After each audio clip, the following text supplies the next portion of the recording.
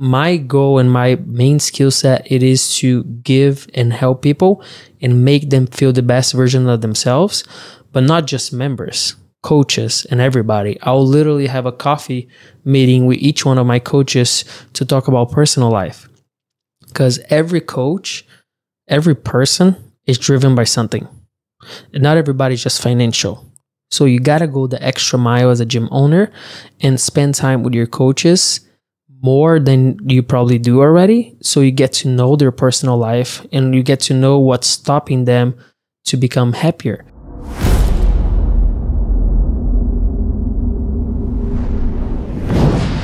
Hello and welcome. Today I'm here with Luan. And Luan in fitness space is pretty much everything you can ask for coach, business, business owner, and uh, business and coach consultant, and basically from A to Z, everything what uh, what you can experience there, right? Being around. First of all, thank you so much for having me. It's a pleasure. And yes, like uh, like you mentioned, uh, been in different roles and um, uh, fortunate enough to be around fitness in all type of aspects for sure. Okay, cool. So let's. Uh, it's pretty much of a traditional question here. Mm-hmm. Your fitness as a child, as a kid, what were your sports? How you got into fitness? What uh, What was your journey from from when you were a child? So uh, originally, I was born in Miami, and I moved to Brazil when I was three. Uh, so you can only imagine Brazil, and some people like to call it soccer. Some people like to call it football. We say football. Uh, in America, it is soccer. So I grew up playing soccer. A little bit of background on my family. My whole family, including my uh, grand grandfather's brothers, uh, my father, all of them play basketball. Like okay. my actually, my grandfather's brother play in the national team like Olympics and everything for Brazil. For Brazil, okay, yeah. So they're, they're, my my whole family is into sports, right? I never, you know, because of my height, wasn't too much of an advantage to play basketball. I know how to shoot and stuff, but uh, soccer was my thing. Play soccer my entire life since I was probably three to four until I was eighteen. When I was already 13, 12, I started playing a little bit more professionally, meaning like doing different tournaments, traveling with the team around the country and stuff like that. And uh, when I was about 16, 17, I started to have opportunities to maybe sign for professional teams or go for a U20 or stuff like that, or really invest to be my lifestyle, right? Mm-hmm. And I always had on the back of my mind uh, to become, uh, not to become, but to come to America since I was American, but I haven't been in those 15 years of my life. Okay. I was never back so, to America. So is it your father's family is from Brazil? Everybody's from Brazil. Or, or mom as well? Mom too. But you were American? Yes, okay. because they were okay. both living in America when All I was right. born. Yeah. So when I was 17, I was like, I had two opportunities. Number one, num- letter A will be either stay in Brazil and fight for that professional spot and probably not make so much money to start and then really fight because just like basketball in America, everybody plays football, everybody plays soccer. So it's a very competitive area. Or why not go to America and play? And by the way, when I was playing soccer, I had to basically put school aside because mm-hmm. that's that's what that's what we only did, right? So I, I really went to high school in a school that you didn't even have to show up in school and you pass, right? Because my main focus was soccer, I mean football. So uh, I was like, okay, how about I go to America, try it out there, maybe I'll become professional there, or if not, I'll play for a university and have a plan B, which is studying. Is it good paid in America? Yeah. Uh, no. Yeah, because I I don't really follow much of the U.S. sports, but I would imagine that American football and uh, basketball, baseball, baseball, basketball NASCAR, are way bigger, it. right? All of it, and I, it's a it's a very interesting topic that we can uh, talk about it one day. But I don't think so- soccer it is growing a lot which is the football in America, but I don't think it's ever going to get to those levels just because I, I don't think the media allows it to because like space on the TV because football is the biggest sports in the world. So once football, once, once in my opinion, once American people start liking football, they kind of not to care so much about the other ones because a football you only need a ball or maybe anything, right, to play. Everything else you kind of need more of a setup to to play around. So, but anyways, uh anything in America, it's good pay. So if you're a good player and you play for big teams, yes, Okay. you, you get good money. So that would be still better than staying in Brazil. Yes, On, and, on and because also the competition in Brazil was way bigger. so right? much. Okay. And not only that, by not by never being to America, you always had that in the back of your mind. Like, okay, I gotta come back, or the American dream, or is it like movies, you know? So I had that in my mind. was it like movies? Yes. So I can tell you that college life, it is exactly like movies. Uh, and I live all that. So I ended up moving to America. Uh, just to answer your question, they pay good, uh, but uh, uh, like if you're for national team or if you play for like LA Galaxy or big teams, you make good money. But besides that, there's not too many op- uh, options. So, anyways, but I went straight to college, played college, got my, um got to study, got to live that lifestyle of which is playing a of uh, university sport. You know, Did you have to show up to school more than when you were on a high school in Brazil? a lot more. Okay. And, and and not only that, I had to keep a good GPA, which is a a, a score and a, and a test because you can only play for the team if your GPA is around 3.0 depending on the team. So you cannot and you have to take full-time classes, which is 12 classes or 12 credits. So they make sure that you're not just Doesn't matter uh, how good you are. Doesn't matter how good you are. They will not let you play unless your good grades are good and you're taking the classes. So it's a full time job, which was great. You know, can't complain. So I, I ended up living that life, and mm, and that time, it's when I discovered CrossFit. One of the one of these days in the college, one of my friends, you know, uh, that's around 2011, 2012, and he was like, "Dude, you should you should try this this thing that people are doing. They swim, they climb walls, they do all this weird shit." And I was like, "Okay, why not?" Right? So I ended up trying, but that's how I met CrossFit. Is when I was uh, in college playing soccer. You know, and yeah, so my background is soccer. Play my whole life. I ended up coaching soccer too, which you can get into, you know, after. Okay. But yeah, soccer, football, however you call it. That's I- my I have one, background. one more question towards this. Mhm. I was not in my upbringing, I was not in a situation where there was some sport that I would be doing like you from four year old till basically a professional career. Yeah. Mhm. And uh, I'm I was always curious how people who have this kind of experience that you really through the pretty much basically all your young life, Mhm. yeah, up to being an adult and still keep going for a professional. Like you were doing this one thing. Was it was it annoying at some point? Was it did you want to quit or it was just like it was so ingrained in that culture, especially in especially in Brazil that, that it was just like so natural thing to do. Mhm. Like how, how what was your perception? Was there up and downs? Because for for a child to commit, if they are not forced to it, yeah, Correct. I know. to commit for from four to eighteen, like you need to be pretty much obsessed, not to Yes. not to have any uh, pushback, right? Uh, that's a great question. Uh, I think myself and everybody that goes through a career in sports from a young age up to either becoming a professional or just being a tra- in a training lifestyle and competing lifestyle for over 10 years, there is a lot of up and downs, right? Especially being a kid. But as a kid, all I wanted to do was play soccer for fun. I Mhm. got in a very difficult and delicate situation when that became a obligation. Like meaning like I will not be able to play on my school's team and be the cool kid from the school and be the best kid in the school playing and winning the all the school's tournament because I had serious training with the team. So when that started to happen, he was like, hold, hold on a second. Why, why can't I play? It's just soccer. But then the coach wouldn't allow because I would be wasting my energy or be having a chance to get injured. And a 12, 13 year old, like, you know, I want to be cool. I want to be in a. There is no so, such a thing as a limit in energy, right? exactly. It's not even because of the energy. Like Yeah. I'll literally be sitting uh, and watching all my best friends have fun and enjoy and raising the trophy, and I wouldn't be able to do because I was I had serious training. So, on that little transition, uh, it was a little difficult. But with my dad being an athlete as well, I always had. Uh, he was very strict in a way that okay, you're not gonna eat this you're gonna sleep early you're not gonna play with your friends because you have a serious game he was always like my personal coach to not let me mess up because sometimes you would understand as a kid, right? Yeah. And the coach is not around you all the time, so a kid can easily go and run and break his foot, and that's it, right? Uh, but he was always that, and also making sure that I will have, you know, I was having fun, right? All my trainings and everything, because when it becomes an obligation as a kid, if you have to work, it's basically like I feel like if you have good parenting and good coaching, they kind of take all the pressure around for them and kind of let the kid just have fun, literally have fun.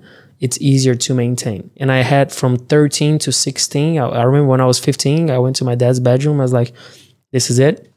I don't want to play anymore. I'm tired. Like it's just too much, too much of uh, uh, obligations or too much of, of pressure for me to to do that. And he was like, okay, no problem.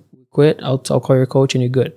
And I was like, all right, right. So he kind of, you know, even though he was like, he's not Easier than you thought. Huh? yeah and then i was like no no no no i don't want to quit you know like so uh but yeah the pressure it's it's be- it's there it's different i feel like every athlete it's we realize that it's discipline you know it's very easy to train when you're happy Oh, like yeah. training when you know you're into fitness like training when you're when, everything have goes bills, well, when you have bills or when it's raining or when you gotta take a bus to go less the real but when you realize that that discipline is gonna give you rewards it's it's it's uh, it's what keep us there you know Yeah, I I completely understand that. The only thing that I uh, I always wonder is how these kids get to understand it, right? Because as a kid, you don't really see or you don't probably give a shit when you were 12 about like this will give me a college opportunity in US.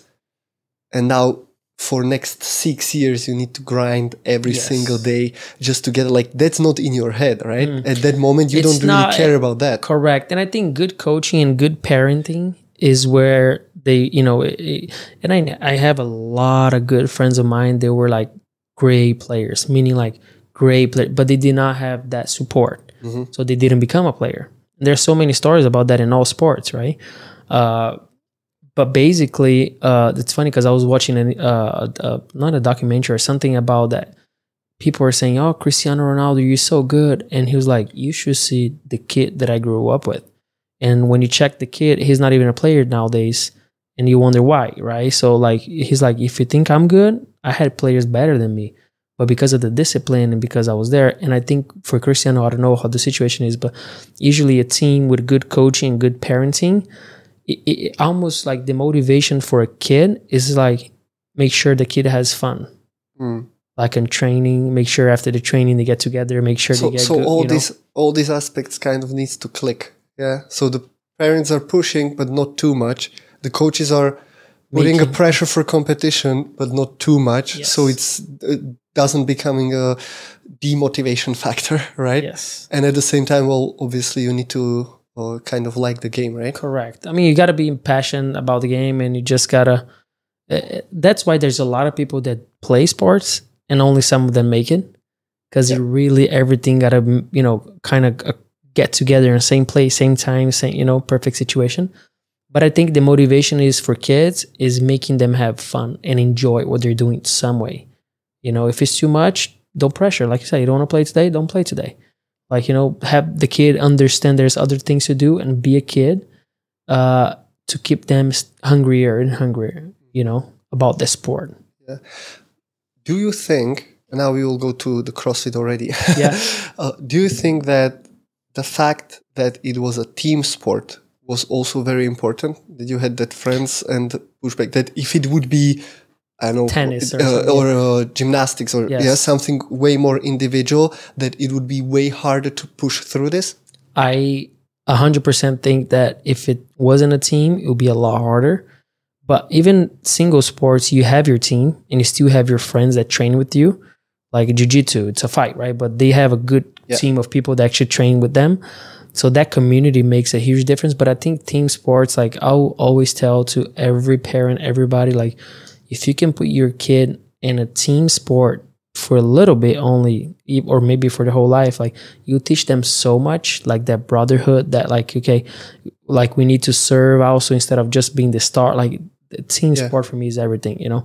So being around my friends that are also struggling with that pressure definitely helped. Cool. Okay, so a friend comes. Uh, you are uh, just to get one thing clear. You are 26. Right now, Yeah. 31. You're 30. Why I Yeah. thought you're 26? I look young. Anyway, I look good. my mistake. Yeah, you look good. That's it for sure. Okay, so you're 31. You were around what age when you moved to US and you were introduced 18. to CrossFit? Oh yeah, so I moved to US when I was 18. Okay, I got introduced to CrossFit when I was 19, 20, so that was like early days of CrossFit, very early. very early. Around 2000 and we're in 2012, uh, 11 to 12. Okay, 12, around yeah, 12, yeah. yeah. So in US, that was already picking up. That was Yeah. the.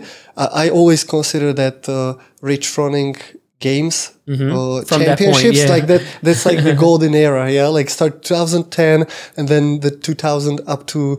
Uh, 17 18 and then i lost interest but that's that's, a my different thing. topic, yeah.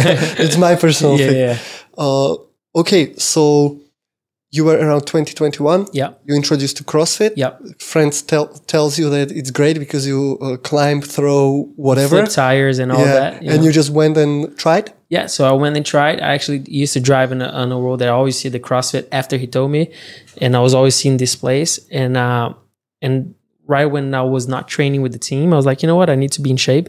I'm not a I'm not a big big big fan of conventional gym. I do train, I do my stuff, but like I'm more of a team person. So anything that involves more community attracts me more. Uh, and I was like, okay, I'll I'll give it a try. Let me stop by. Right, I was driving, saw the place. Okay, let me let me just stop. Oh, where was this? That's in South Florida. Okay, Florida. Florida. Florida, yeah, it okay. called the name of the play. The name of the gym is CrossFit Hardcore. Back in the days, they were they Classic- Were, I classic know, CrossFit What is cool, right? uh, very big back in the days. They ended up having, uh, I think, almost nine gyms, and then you know whatever happened, Mm-hmm. they they they only have one or two now, but they were very one of the first ones there. And I and yeah, I was driving in one of the locations. And I stopped there. Did maybe a week trial, if I'm not mistaken. And after that week trial, I joined their other location, which was closer to my house uh, but I did with them for a while, and they're yeah, but it was a very interesting introduction because I was fit, you know, and I kind of was put in a class that was not looked well, you know. After you know, when you're good at something, then you put you go in a CrossFit class, and then you get something that you're not good at. You're like, oh my god, what's happening, right? Yeah. So it was a very interesting first day for me. So you were good until you came to CrossFit. Yeah. I thought, I, was, I thought I was fit. Yeah. Oh, sh- hey, I, I have exactly uh exactly the same experience. I was doing MMA. Okay. and I thought like you know come on like Nobody MMA can stop me. you know yeah nobody nobody can uh, outfit you you know Yeah. and then I and I remember this I exactly remember this workout it was uh, 30 push-ups 400 meter run 30 squats 400 meter run and 30 burpees 400 meter run hey on the last 400 meter run I I thought I would be faster if I walk you know like so like everything i was like and the psychological pain was even bigger because like how is this messing me so much you know? And just and that, that was that was it. I was like shit like if something is if some people are great at this like what kind of fitness they have to have like there is To be something good at in that, it right? yeah like like if you're good at this oh my god like how how much better you will be in everything else right so so that's that, that was uh That- probably similar impression. yeah, Yeah, no, many me- pe- many people have the I think most story, yeah. people, and now being a coach, it's funny because we got to see from the other side people's first, yeah, you know, introduction. But um, but yeah, I was like my first class was a 400 meter run too, and then it was uh box jumps and uh, no, I'm sorry, 400 meter run, kettlebell swings, and pull ups. that's helen Uh, I don't think it was Helen. Okay, but I mean, that's yeah, the it's around. yeah, Yeah, it's around it's, that- it's that around idea, the, yeah. the same idea because I think there was another movement, but I can't remember. I think it was either box jump or something. But for sure, I, I'll remember the kettlebell and the pull ups and the running, and I'll tell you why. The running first uh, first movement was the running. I was like, okay, easy day. I'm a soccer player. Let me show these people how to do it. Right? I show up with running shoes and all that. So made my 400 meter people like, what is this kid doing? And I'm fast. I used to be fast, right? Soccer players and then I finished the 400. And then my scaling option for a pull up was box pull up. So I was Okay. doing box pull up, which is you know, when you know how to do a pull up, it's pretty simple. But for people that don't know how to do pull up, it's as hard. You know, the box is pretty low. And I was like, That's okay. the whole idea. You scale it up. Yeah, yeah, and scale the, it down. the yeah. coach was very good to scale in a way that made it so difficult for me. the Kettlebell very light. Anyways, the whole point is when I finished up, when they finish, some people are finishing first than me, right? So this lady, probably seven years old, she finished before me, and she was doing exactly what I was doing. the box pull up and the kettlebell swing the same weight and the running. But there's a lot of older people that do CrossFit very well, right? She was not like a just a random seven year old. She was fit for a seven year old.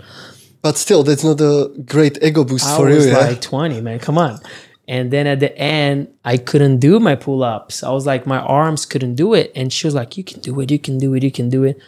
And I was like, you know, I was like, Thank you very much. After, you know, at the end, like we kind of chat for a little bit. But then I went home, I was like, Bro, there's something wrong, you know, like just So you had Did I do wrong or- 50 year older woman, lady, cheering up on you with the same with the same exact with the same scaling. It's not like she's doing something else. It's the same exact scaling.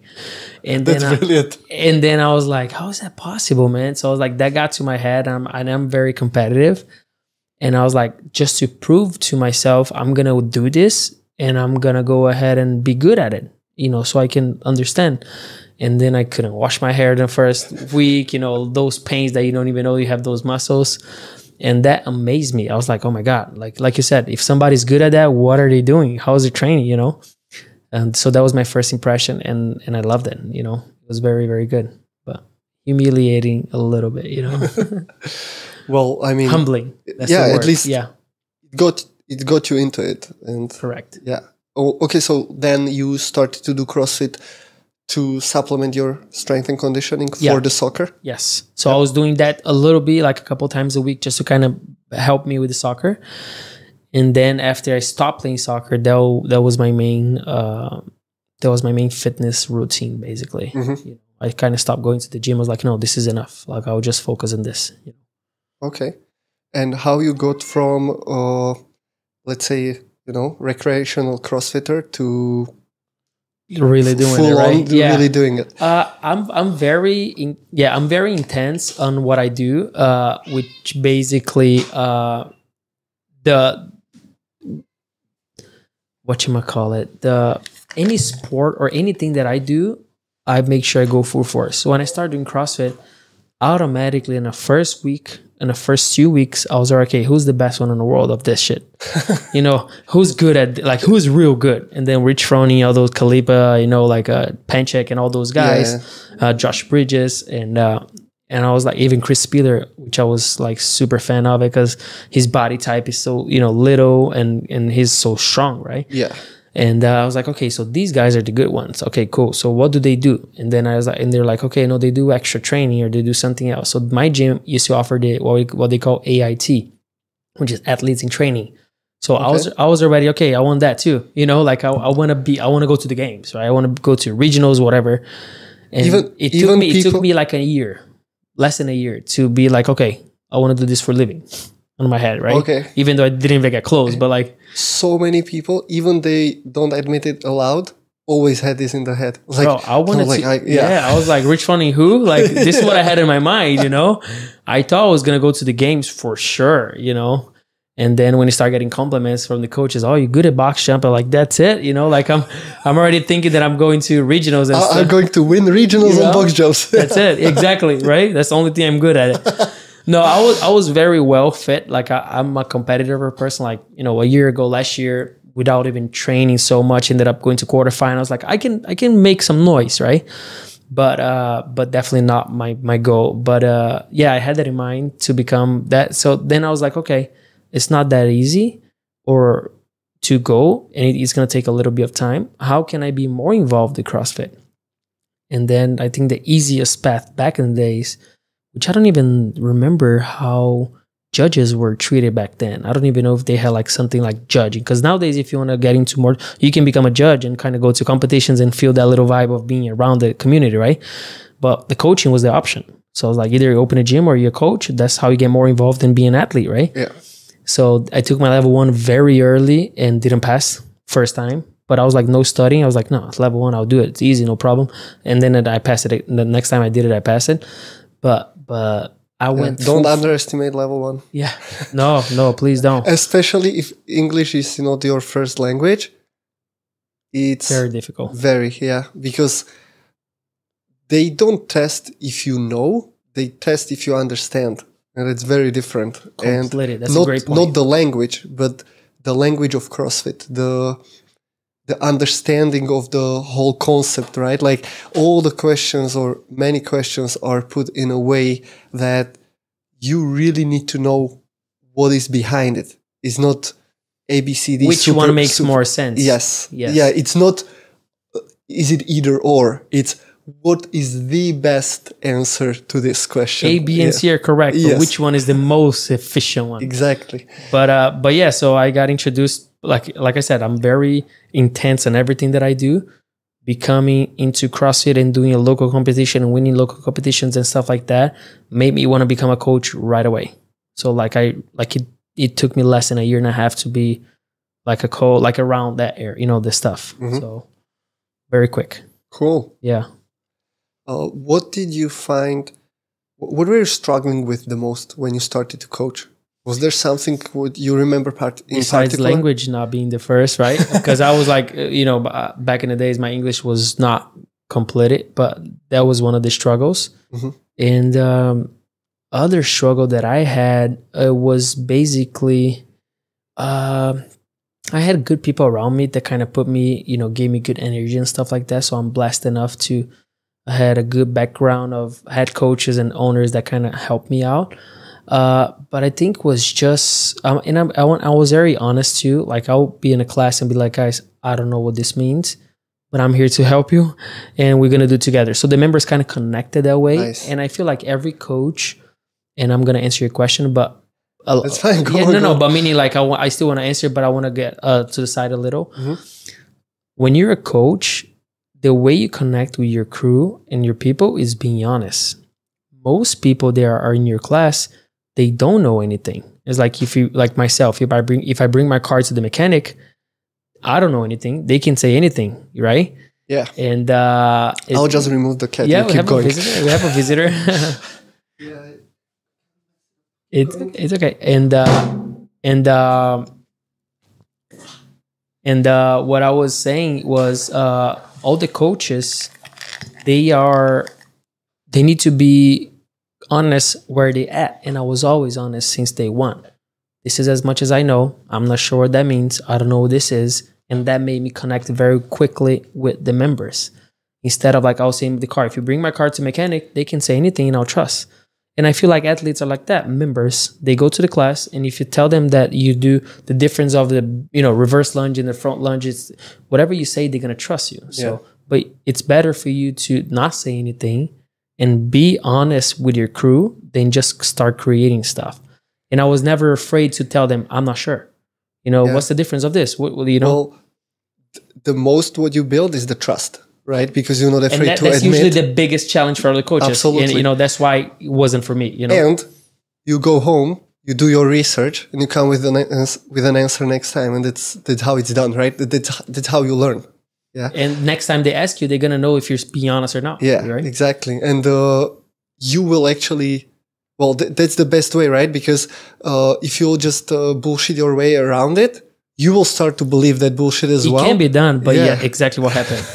you believe in your own stuff. Yeah, yeah. You know? And then just like, but I just want to uh, highlight one thing, and that's uh, when you say it like this, it might not be obvious, but I, think this is a very huge thing what you've done in a meaning of you are in a foreign country for you for kind of home but foreign country Not yeah home at all, but yeah, yeah. yeah you speak different language you come to this thing you only at that point i believe could take the test and the whole crossfit uh, level one in english language. Yeah. so you did it in, no in the foreign language which like all right i also did my level one in english because Mm-hmm. that was the only option. However you stay there and you coach in that language. You know like i did my level one but i came back and i was coaching in my own language. Mm-hmm. yeah? So you, that's uh that's super super tough because after after years of being efficient in coaching in my language, I got to teach in English. And as I told you before we Yeah. started recording, it was a huge challenge. I was like, I reduced everything what I was saying to 20%, just basic instruction. yeah. Just like basically a survival mode. Like I just told them what they really need to know because I had to think about how do I say it in English and how do I make it better? Do always questioning am i expressing it the right way because you might think it's how it's said but in it might not be the textbook language that is the most efficient to use in the gym right true. and then as we always say the cue that uh, the, the good cue is the cue that works. And now you have cue that doesn't work and you in a foreign language need to come up with some shit that will work. Uh, rephrase That it. they will understand, like yeah. just say one sentence in a foreign language and then like okay say the same thing three more times always different way. Like it's super hard right? Very very difficult. Yeah. no it was definitely a challenge. It, it definitely helped me become the person that i am and the, the coach that i am by being exposed to different community. And that's one of the reasons that i came here. It's to again be exposed. There are classes that i coach now that they barely speak english. It's just locals. So you know i gotta figure out another way of doing it. So and i love that challenge right? But but what, what does your t-shirt say? Do uh, you know? my man i think that's the name of the brand. Okay. Amongst few Oh, okay yeah, okay, okay. I think so. They asked it because I was walking the other day with the shirt, and they got the locals were like pointing. It's like, oh, what does that mean? Is that your name? I was like, no, no, that's the brand. And they're like, oh, this is what it says. So I think Ah, it's the name of the brand. okay, yeah, I hope so. because like there's no way i can I hope so. yeah, Maybe I- it's saying some shit. If it is, I'm so sorry. I have nothing to do with this. I just thought it was a cool shirt. Uh, but but yeah, uh, no, I think man, when you when you do stuff like that, and for all the coaches out there, you just got to be honest with yourself and there's no problem about not knowing stuff and there's no problem about struggling with the language or or being uncomfortable in a situation as long as you're honest with that and always try to grow and make it better Exactly. Yeah. Like home and if do you don't know to, if you don't know today, that's fine. But if you don't put any effort in into knowing tomorrow, yes. that's problem as well. exactly. And the community will connect to you if you're honest with them. But yeah the language was for me for me was probably one of the biggest uh challenges that i had. And also uh being like people like having the responsibility that people will do exactly what you tell them to do and like like you literally i remember there was one time that I- i'll never do it again. It was a mistake that i did very young age on coaching. Was like there was a guy he was from uh, korea or he was from korea south korea. And then that day showed me how much like our presence and how much we coaches have responsibility in other people's life right? This guy was like okay i want to do a pull up with the band and this guy did a pull up with the band and I, and he was my friend he's still my friend that's why I did it. He was, I was like, okay, you gotta do the pull up with the band, but you gotta make sure the band hit your nose every time. Like you know when you do a pull up with the band, which is so, like so you stretch it forward. yeah, yeah, Yeah, but yeah. meaning like, but you don't have to eat your nose. Like you can put your hand to the, your head Yeah. to the side, and the kid was doing that, like during the class, my my friend, and I was like, no, no, no. So I came to him, I was like, no, I was just joking, but that day showed me, that day showed me that like we coaches have a lot of responsibilities in what we do and what we say. So if you want to become a coach, you got to make sure you're ready for that. And if you're if you are a coach, words have a lot of power. And like whatever you say, your members will basically uh, believe you. So it's a big thing, like trust, you know. And automatically, as an example, when I came to UAE, first day that I was introduced as a coach, I immediately have 20 people that trust 100% on me. How crazy Seeing you first time. You know, Yeah. not even knowing me Just out of authority of the position. right Yeah. so like it's a big responsibility for me to tell them what to do and i'm literally dealing with their life you know so uh with their life so it's just uh yeah so being honest uh where you at is very very important for a You, coach uh, do you know the the CrossFit meme King uh, make the world great again? it sounds familiar Okay, so it, Yeah. it's just it's a it's this guy on the Instagram. He's just doing uh, all CrossFit related memes. Mhm. Yeah, Uh, I think he actually he's uh, he personally knows a lot of uh, famous air quotes people Yeah. in a CrossFit space. He knows the media. He he knows some athletes, and he's just in that space. And uh, I just remember you reminded me exactly with this when you, when you said in a very young age you said something that wasn't that was meant as a joke, but it was taken literally. So he's he had this meme. Can't remember what was on it, but it was some kind of maybe some uh, shot from uh, superhero movies or you know just like some somebody extremely dominant just posing on the picture and the description was like this is how these 20 year old kids taking one weekend seminar of crossfit level 1 are feeling on the class That is so funny. all the power you know Yes. you have so much power you it's it's dangerous It is dangerous. That that's so funny. I would like to see that. You show me that later. Yeah, but yeah. that's so funny because that's very true. You know, and that's uh, I mean, for people that care, that's that's a big responsibility. And for people that don't care, the problem is when there's a coach that kind of don't care about that, they might utilize that in a wrong way, or they might use it uh, utilize that in a wrong way without knowing. So just know that whenever you're leading a class, there's a full responsibility. Literally, you have the power of tell them anything. You know, so Yeah. and the good side of it is if you do the right thing, then you set for life. Because then anywhere you go, you have a lot of people that are your fans, the people that love you, people that really like you can change people's lives if you Yep. think about it, right? So it's Yeah. it's it's a lot of it's a lot of power. Got to use it the right way. sometimes too much Too much. Yeah. Yeah. Too Oh. early, too much, too early. Yep. Uh, so, okay, you were coaching, and then you eventually became head coach. Correct. So Yeah.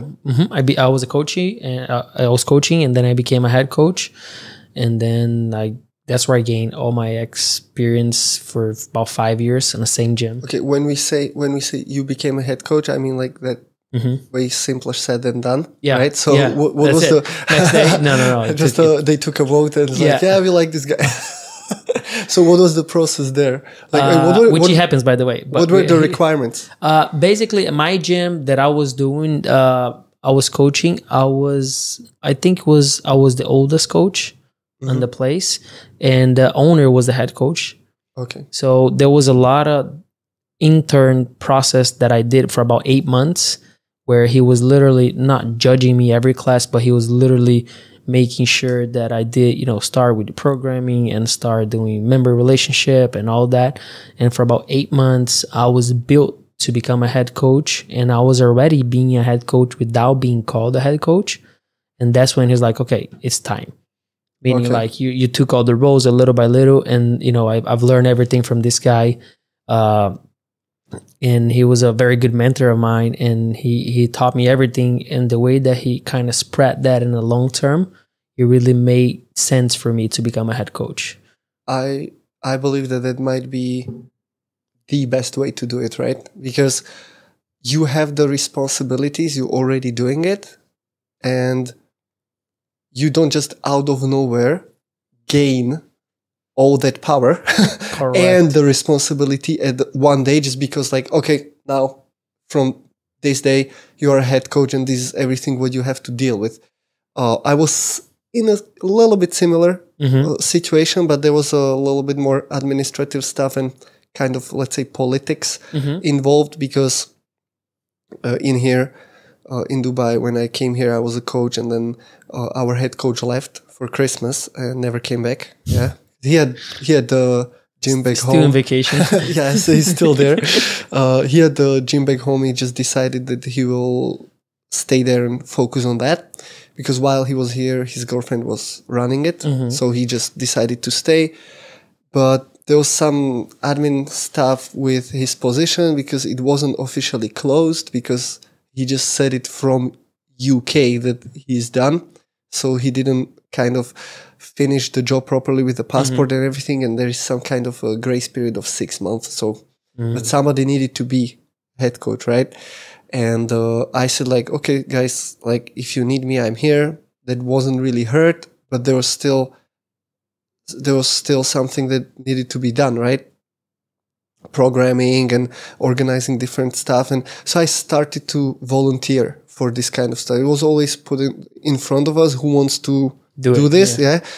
I always volunteered. And then I remember this very well. There was another guy who was supposed to come to be the head coach. He was that time level three. And I was working, I was just signing up to, for my level three exam. Yeah. But nobody knew. I didn't tell anybody until I did it. And uh, this, uh, this guy, he was supposed to come. But if you remember the open workout with a lot of handstand push, basically Diane, Mm. and then following with Diane and hands, uh, like same Handstand scheme, walk? but the handstand walk with heavier deadlift. Yeah, So- 315. yeah, so yeah, so this guy blew his back on this workout, and he herniated his disc, and he was waiting for some ozone therapy, which was Yeah. interesting for me to learn. I didn't know they just inject ozone into your well, not spine, but Yeah, in the area, yeah. so it pushes the disc back. Wow. Yeah. So that was, he was waiting for that, but he was already supposed to come. And I just remember I was sitting in the office when the management, I was there with them when they got the email. Like he's, So he's, present, yeah. he's fucked up. And they just looked at each other like, did you see the email? And they was like, oh my God, what do we do? You know, Uh-huh. panic mode. But, uh, cause I was already doing quite of that stuff within the next couple of weeks. I was also kind of officially Mhm. put into that position, but 100%, 100% believe that it should be gradual and it should be something you over time kind of deserve, you know, because you already do the responsibilities, you are already there. the people who are in charge of naming you to the position, they can see if you're fucking up or it's okay or how, how well you're doing, eventually help you to do it better, right? And then kind of regulate the whole process without the hype of, but this is my role. Yeah. You know? and, and that's a that's a that's a great point and i believe that a head coach and a coach they should be people that care so teaching how to coach that's easy but you can't teach how to care Yep. caring is either you have or you don't right so i think it's a lot of waste of time making coaches that don't care become coaches Yeah. and I, head coaches as well when I used to have interviews for coaching Mm-hmm. positions, uh, I was always asking them this question. You have the six fundamental areas of coaching, right? Taught by CrossFit at level two, seeing, teaching, or Mm-hmm. Correcting. correcting, yeah, or teaching, seeing, Mhm. correcting. So that's like the, the basic stuff, right? That like Mhm. that needs to be there. And then you have the demonstration, uh, group management, group management, and uh, uh, maybe they changed it, but there was Mm. group management demonstration, basically being able to show it to Mhm. show it to the class, and then the last one, presence and attitude. And I I list them down. I was like, which one is the most important? You know, and there's not right and wrong answer, course, yeah, but it will tell you what is How the they think, priority yeah. for people. You know, and sometimes they'll say like, well, seeing is the most important. It's like, why? Well, because that's what I struggle with. You know, and that might be the answer. However, for me, Mm-hmm. the for me personally, the answer is uh, presence and attitude because all of the other things, as you said, you can teach that.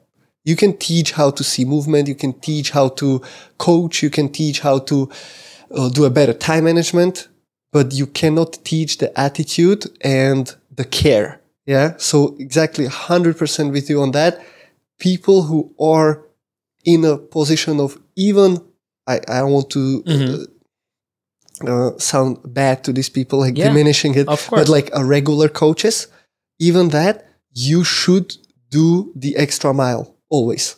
You should always go the extra mile because if somebody is struggling on a class and you don't go after and you don't offer them help and it doesn't have to be for free it doesn't have to be like okay so uh, now i will give up my saturday to teach you uh, to teach you squat better or to teach you how to feel your hamstrings on this it's like no it can just be as simple as i see you struggling if you need help i'm here I'm for here. you yes yeah.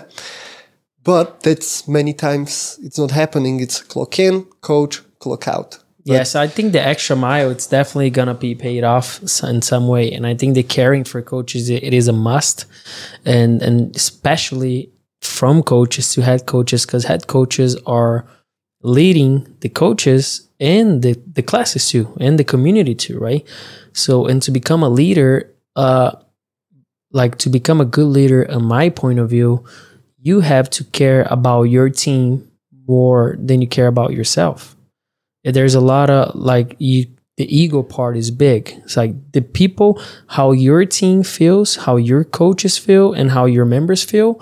It has to be first before of how you feel, and that's how I think you lead a good team. So for a person to get to that level, doesn't matter what level three, four, five you have or degree, if you don't have that kind of attitude and present and, and presence in, in the gym, I don't think you deserve to become a head coach. Not because you're bad, you can be a great coach, but leading other coaches involves a lot more. Like it's just not like it's not a position just for your ego. You know. I, I actually have a great example from a real life situation, and this is this is not even from the coaching environment, Mhm. but this is from let's say or let's say it's a healthcare thing. Mhm. Yeah, I don't want to be specific in naming uh, people and places. However, I was uh, was brought into my attention that there was this situation, and from the leadership perspective, I was just talking about this with few people. There was a situation where two therapists with a very very specific set of skills,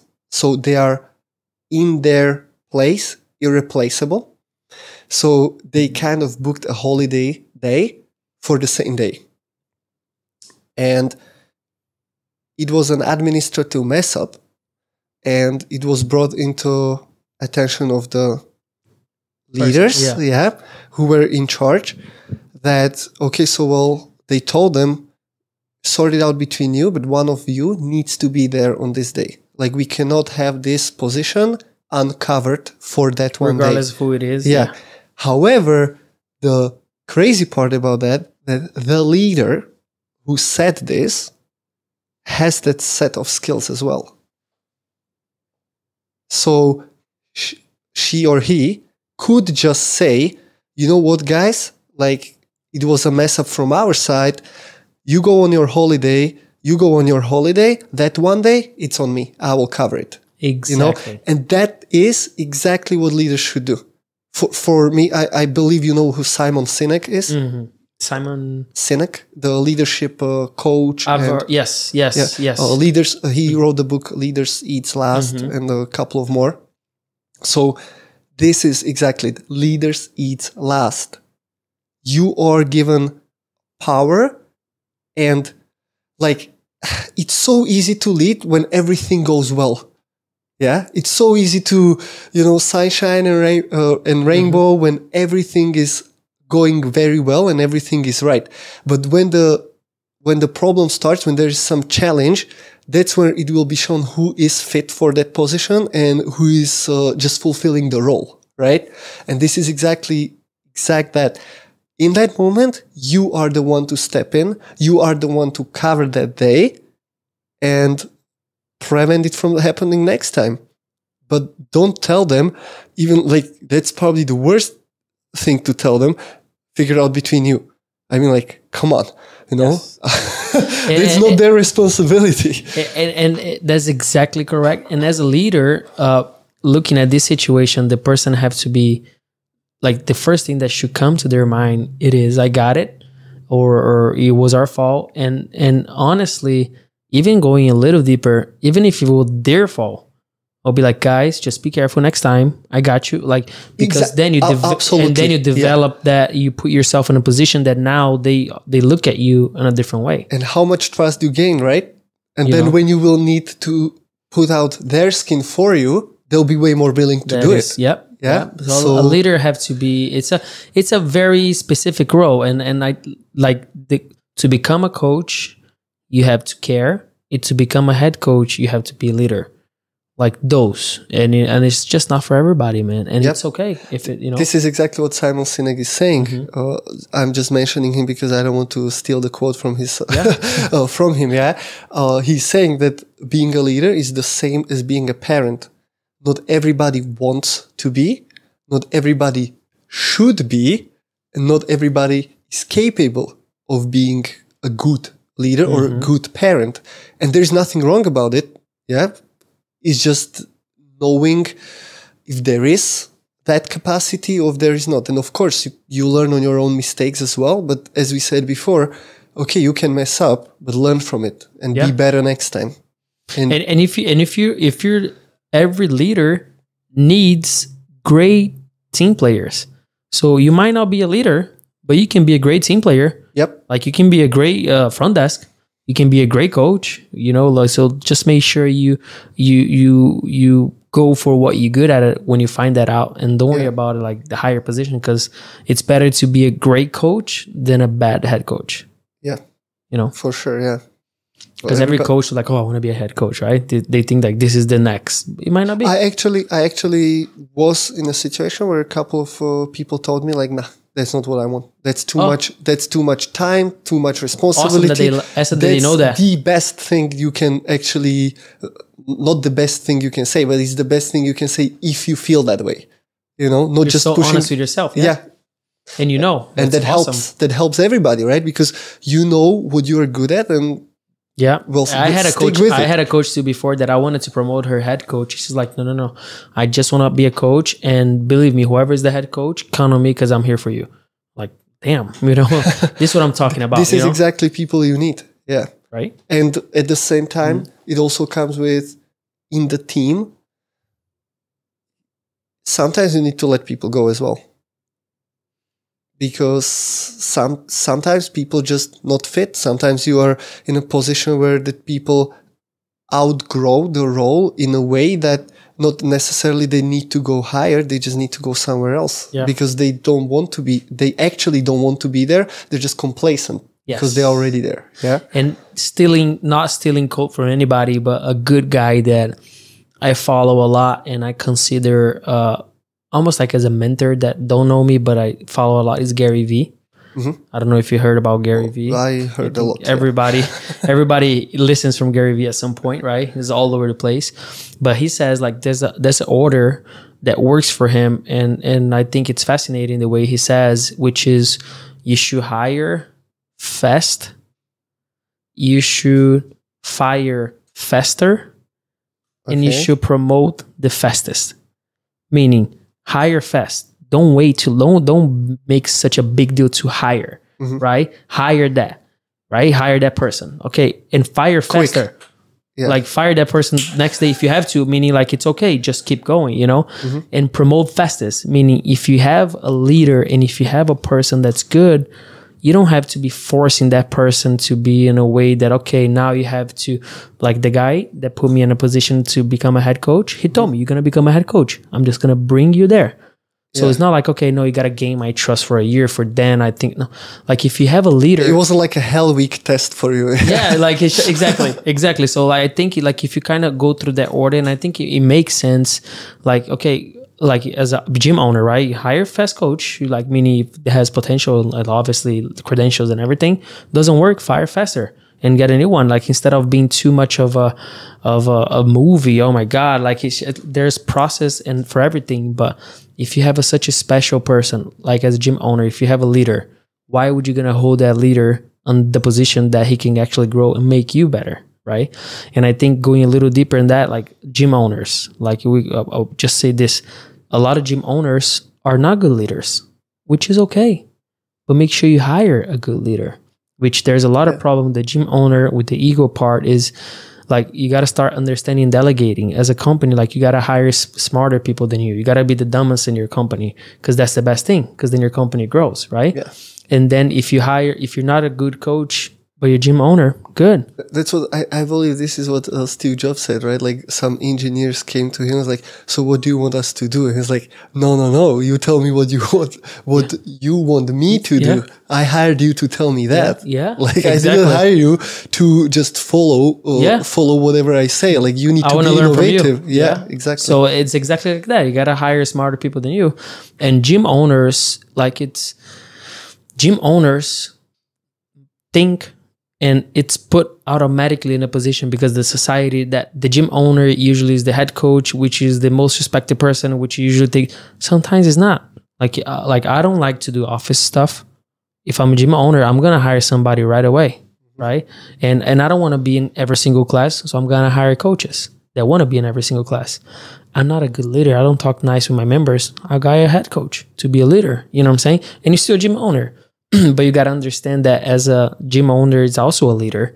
You got to understand that you got to create that team and make sure that you build that. you know so it's just like everybody have their own position you know Yeah. which they're all valuables Th- this is like uh, it, it reminds me i i had a podcast with my friend mike and he used to be special forces operator mm-hmm.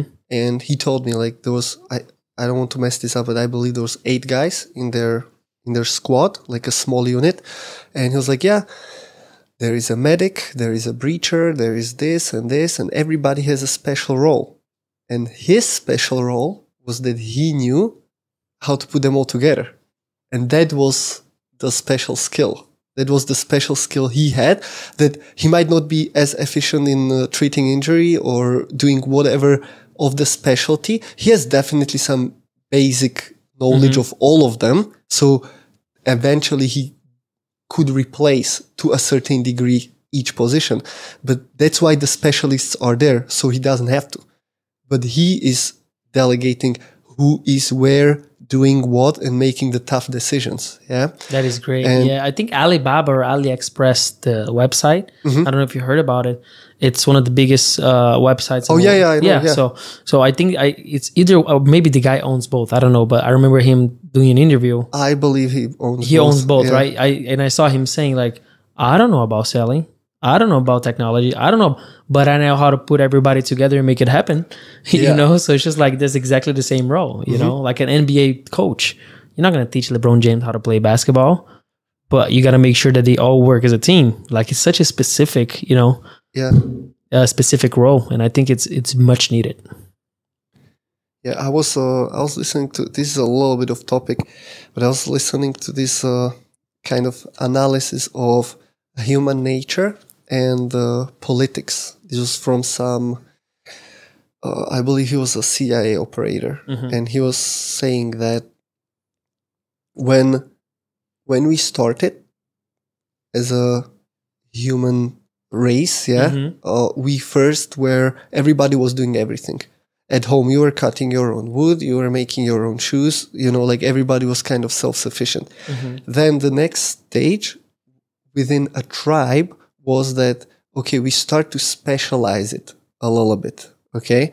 So we start to specialize in a way that okay so well you are way better at uh, at making uh, working with metal so you do that and i will trade you for this. And you know so everybody had their own special role.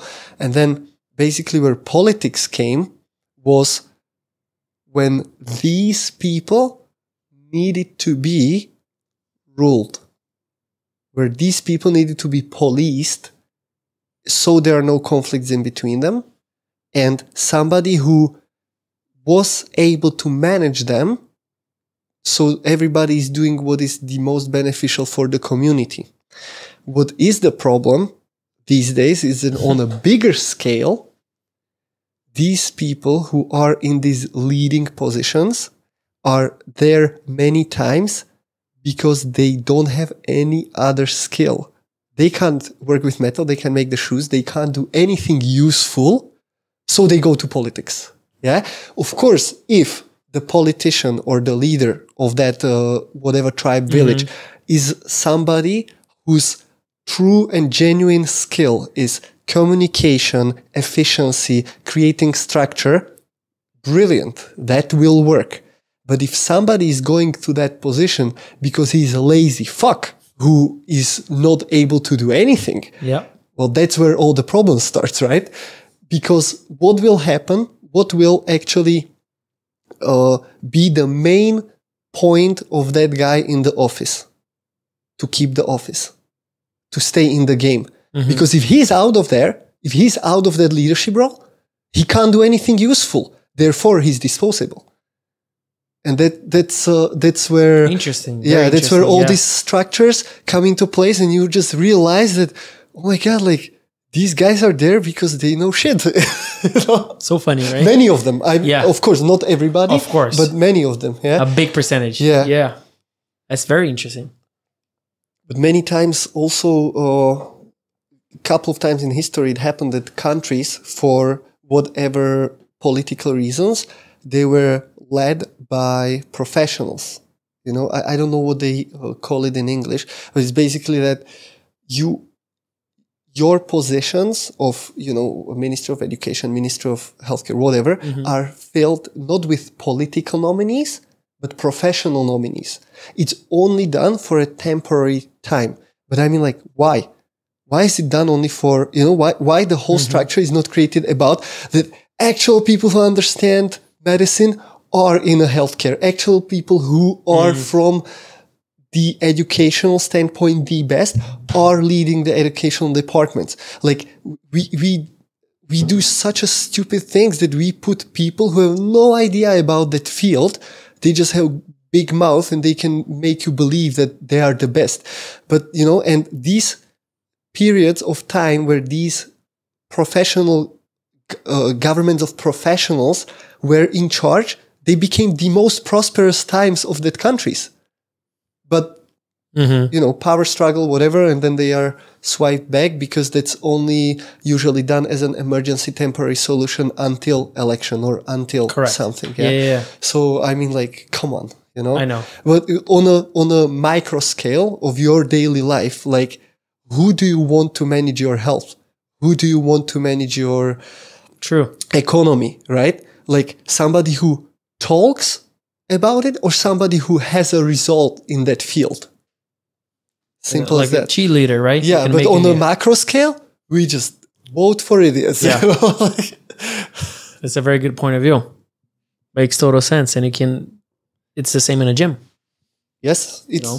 same always the once there is a hierarchy it's Yeah. basically similar patterns everywhere okay so anyway uh, back to your story how did you then become a gym owner So the way was, I was a head coach in this gym uh, for about five uh, years. Then right after, uh, I got to a position where I was literally uh, doing everything in the gym and not making the money as the owner, right? So you know, I had a proposal of either becoming a partner or opening a new gym, or because financially I wanted to get you know more money because I was already running the gym and then he that wasn't his goal. His goal was to keep a small gym where you know the way the way is still up to today, which is great, right? Mm-hmm. Still love the guy, but was not my vision, right? okay so you came with the proposal to Yeah. do something Yeah, I differently because I was like, okay, how can I make more money? Mm-hmm. You know, Yep. and and like, am I like, okay, the next step of a head coach is becoming owner, right? And then I was like, okay, and then there was no opportunity for me to become owner there, right? So I was like, okay, so then uh, I approached another gym. Actually, a good friend of mine told this gym about me, and this gym was like, okay, no, we know him. How about we get him to come over here? And so I ended up doing a meeting with them, and and I was like, okay, listen, I'm happy where I'm at. I'm a head coach. I know everybody. I run the place. Like I, I'm not interested in moving to do the same thing in a different place. Like I only can be here if I become an owner, right? Or like a part owner, or give me a percentage, or I work and then I pay my part working something, right? Like okay, how about you come work for us as a head coach, uh, make everything happen. Give us about three to six months. Let's put four months and then we have a seat and then after six months with us and we make you a proposal of, of how much percent you want and stuff like that and then we make it happen right? We never thought about it but why not right? We want somebody to have something that's you know a skin in the game. And it's like perfect. So i ended up being there uh, right in the covid um, soon as co- i started coaching head coaching there and three days after lockdown right? And then but anyways but it was fine because i was good opportunity because i renovated the whole gym. But this was in florida right? Florida. You did you didn't really care about the No, rules was- much right? no. it wasn't no it too was strict. it was like two or three months mandatory for the whole world but like we only we only stay locked down. Like i kept going to the gym every day. Like Okay. no masks for me. Like i like i didn't florida was very liberal right with that. Yeah. but the gym had to close because you know Okay. uh, i think all the business kind of closed for a little bit uh the minimum and then they closed and then i, I ended up doing my first mentoring role without knowing that I was doing my mentoring role and without even thinking. I renovated the whole gym. They never got me as a mentor, right? I renovated the whole gym, uh, painted the whole gym, bought a bunch of equipment, sold a bunch of equipment, did a lot of documents for them. Like I basically restructured the whole gym in a sense that like you know like I'll be basically you know I was telling the owners what to do and stuff like that. And now that I you know that I actually do this, I was like, okay, that was my first actual without even knowing, right? So I created a lot of stuff. So I I was there for three months. So you did it from your position of a Head head head coach who is uh, on the lockdown. Yeah. and you can't I- have I- people there, so let's Yes. at least And I do still- something good for the place. That yeah. is correct because I can be stopped. Like if I'm if you pay me, like okay, how can I help, right? Yeah. But then we was- we were still do like online classes, right? Like Mm-hmm. we're still coaching, but online. But I was like, okay, how about we? Okay, how many sandbags you have? One, we don't need them. Then throw away. Like like trying to reorganize the whole place to make more sense. Painted, bought new barbells, got a PVC hole. Like like did a fantastic job on that, which is up to today look the same. Changed the programming, bought a TV, uh, came up with a couple ideas for marketing, like get the Instagram, like did everything that I could on the time that I had. Right, I want to give them value, and they were super happy with it. But then when I was there doing my thing, I got a call from another friend of mine, coach, that was a coach at this gym that was in lockdown too. Mhm. And she's like, Luan, there's a great opportunity for you to, for us to buy the gym that I'm at, not the one that I was. Mhm. And the one that I was, Another gym. another gym. And the one that I was, I was like, okay, guys, I, I need at least 20 to 30, 20, 15 to 30, 35, the most percent of this gym before getting to that. Like, okay, we talk about percentage, give us about four months. Like, okay, cool. They're going to pay me the same money that I get paid there. It's fine. Then after that, we have a contract already that they must talk to me about it. Good. We good. And she's like, okay, it's going to be 50, 50. And then I was like, okay, that's different, right? Yeah, 50 is more than Yeah, 25. right? and then what I did, I was like, and she was like, and zero down because there is an investor. And then I was like, hold on a second. So even better, right? Like there was and a uh, that was already running gym, or it, was was, already like running gym. let's go open a new no, one. no, there was already, That was already running. Yeah. established.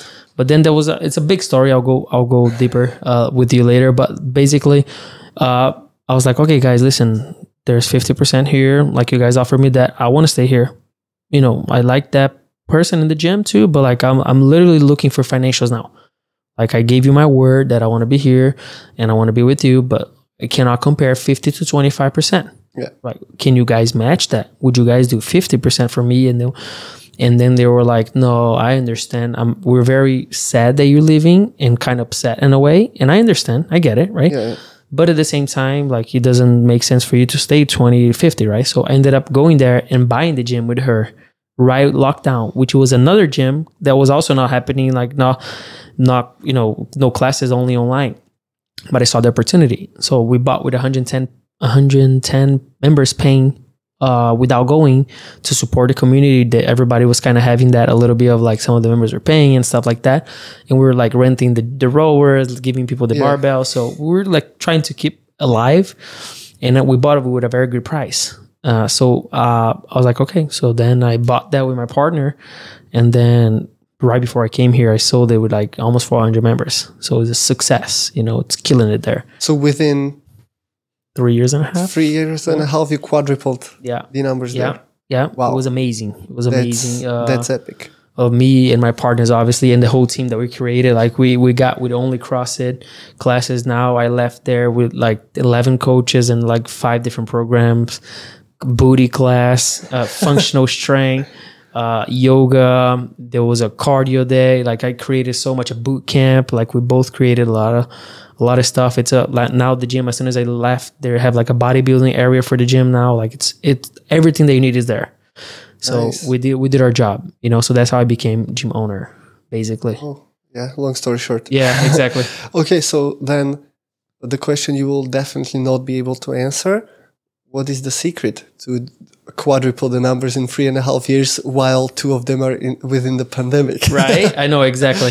Uh, I think for CrossFit, uh, the secret was literally being genuine, uh, and because people feel your energy, and we really, really, really cared about our members. Like that, that, that was our priority. And when you really care about your members, they feel And not only that, I have an entrepreneur side of me and I have a leadership on me that I love making my team feel even better than the members. Right. So it's just like my goal and my main skill set it is to give and help people and make them feel the best version of themselves, but not just members, coaches and everybody. I'll literally have a coffee meeting with each one of my coaches to talk about personal life. Because every coach, every person is driven by something. And not everybody's just financial. So you got to go the extra mile as a gym owner and spend time with your coaches more than you probably do already. So you get to know their personal life and you get to know what's stopping them to become happier because it might be simply lack of money to buy a house that's closer to the job so they can spend more time with their family. Like as long as you understand where they at and what's the best case scenario for them. Some coaches they just care about being the guy that they that does the programming. Some coaches really just care about being the head coach or like as long as you understand what drives your coach instead of just focusing in financial and then you build a good team and those people are just gonna want it to be around you and wanted to kind of you know because you're happier and happier and happier and that translates to the members because if I have a coach that his dream is to build his own class that focus in Hyrox and and uh, like uh, DEKA Fit and uh, Spartan Race, that's his dream. So okay, I'm gonna go ahead and talk to him, and we're gonna create that class. How can we help you to get more involved with that community? Basic, I'm reali- I'm I'm uh, making his dream true, right? Yeah. And when you focus on that, that person is gonna be, oh my god, how can I help the gym even more? Or that gym is also mine because I'm creating my own little thing. Yeah. Right. And then uh, I want my coaches to be with me forever, you know? And I had coaches before that I trained that be like, okay, I have, I want to have a business. I want to have a gym. Okay. So I'll make sure that while you're here, I'll teach you everything so you can open your gym and be like really transparent. Cause a lot of gym owners, they're very scared they're very like uh, scared about oh my coach is gonna bring other members oh it's gonna get out of here and bring the members with them or my coaches you can't be scared of that you just gotta focus in your own business Well, if that happens, that means you did something right. right Of course, on on the paper doesn't look great. Yeah. When you lose 20 members in one week because your ex coach opened the gym next door.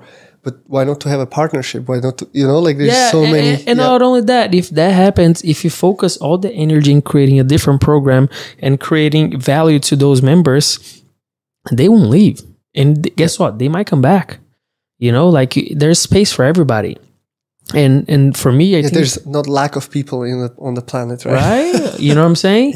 It's just like I think you got to just focus more in your business. And I think for me as a gym owner, uh, one thing that I can tell to all gym owners and everybody, the secret of of making that is really uh, making your team happier and understanding what drives your team. And if you're not sure how to do that, get somebody that do that for you and then build that team and that team is going to translate to the members. You know what i'm saying? Like you don't have to jump your team and focus on the members. Yeah, this is exactly what again Simon Sinek uh-huh. uh, was always talking. Was like he he will come to a CEO of the company in our scenario. That's the owner, Yeah. right? And he will ask him, "What is your priority?" And the CEO will tell him, "My priority is my clients or my customer." He's like, "That's bullshit." Like, no, your priority should be people who take care of your customers, not the customer itself. Because at the end, how much time as a gym owner you spend with the with the client? Like what you talk to them once a week in between Hi and doors, bye. say hi and bye, exactly. And it's like how it's going, and there's a fresh towel, whatever, you know. Mhm. Like no, like the priority is to make people who are in touch with the customer, with the client, happy. Because if the coaches are happy, then the clients are happy. and the vibe of the place is good Hey, this is one thing that in here, well, I mean, hmm you will learn that very quickly from your three uh, months i'm fro- still a baby yeah from your perspective. But I know how it is now. I'm a little bit, little bit more outside of this Mm-hmm. environment now, and the gyms where I am kind of like not regularly going, but the gyms where I kind of know how it works because I'm now in them there or I mm-hmm. know people there, they do it pretty well because people there care. It's a small, smaller community mm-hmm. and, you know, like the owners are very involved because they are also have some kind of managerial role or mm-hmm. even coaching and so on. But before the the gyms where I was, like the management were fitness first guys. Fitness first is a chain of like mm, classic global gym.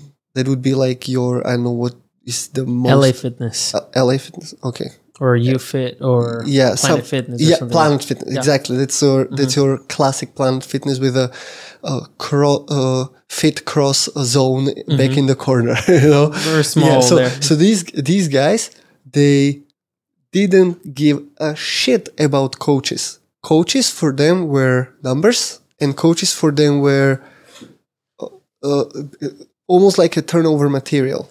Like I don't want to be here, go away. We'll we'll get way more than you know, which kind of makes sense of where they are coming from because in their gyms it looked and it worked like that because you go for a two weekend seminar, you get your uh, level two, level three PT certification, whatever, and you you can go and be a personal trainer in this kind of gym where you work on a very low commission, super high hours, right? And not many people can sustain that, so there is a pretty high turnover. Mhm. I came to Dubai 2017. In a year of 2018, so from January January to December, in a gym uh, in a gym between two locations where we had eight coaches, including the head coach. So four and four per location. One of them was head coach. Eventually, that uh, within half like uh, halfway there, 2018, that became me. We had 10 personal changes on the coaching positions in a year. Wow. Yeah. And that even wasn't like not everybody was replaced. No. It was just such a high turnover. And this it was in average it's six weeks, new person. Like how people are getting to how you build a community with that, you know? So and it was all about we were they were not taking care and they were not prioritizing happiness of the coaches. It was just um, pressure and do this and this and always uh, pushing, you know. And overall in Dubai, the turnover is higher than other places because people might leave just for a simple fact that they are moving out, you know, or they're uh, it's a it's a coach. A whole family is moving out because husband got a better job across the world. Cool, whatever that happens. But ten in a year Yes. for such a small place, it's a lot. Like that's too much. it was it was madness. It was just affects the there was community. yeah. yeah it was all the time there was something happening people was like where's this girl i was like yeah you won't see her anymore you know and it was like Mm. and then oh so who is coming well we don't know yet you know? We never know. just yeah we'll never know It's like oh, this guy is coming but don't get used to him you know Don't like him was too much. yeah yeah don't get too attached Yeah. yeah, it was almost like that it was Uh-huh. it was madness and uh in the meantime, that, that's uh, I, I started to develop an internship program just because I've seen that this is this is crazy, and I wanted somebody from within the community who might be interested in coaching. First, I did it just so I have somebody as a freelancer to cover the classes. You know, and then eventually we actually hired one of the guys who went through mm-hmm. the internship program. It was like it was working, but it was just I mean, exactly what you would never do, and you would never mm-hmm. advise anybody, Yeah. anybody to do. You know?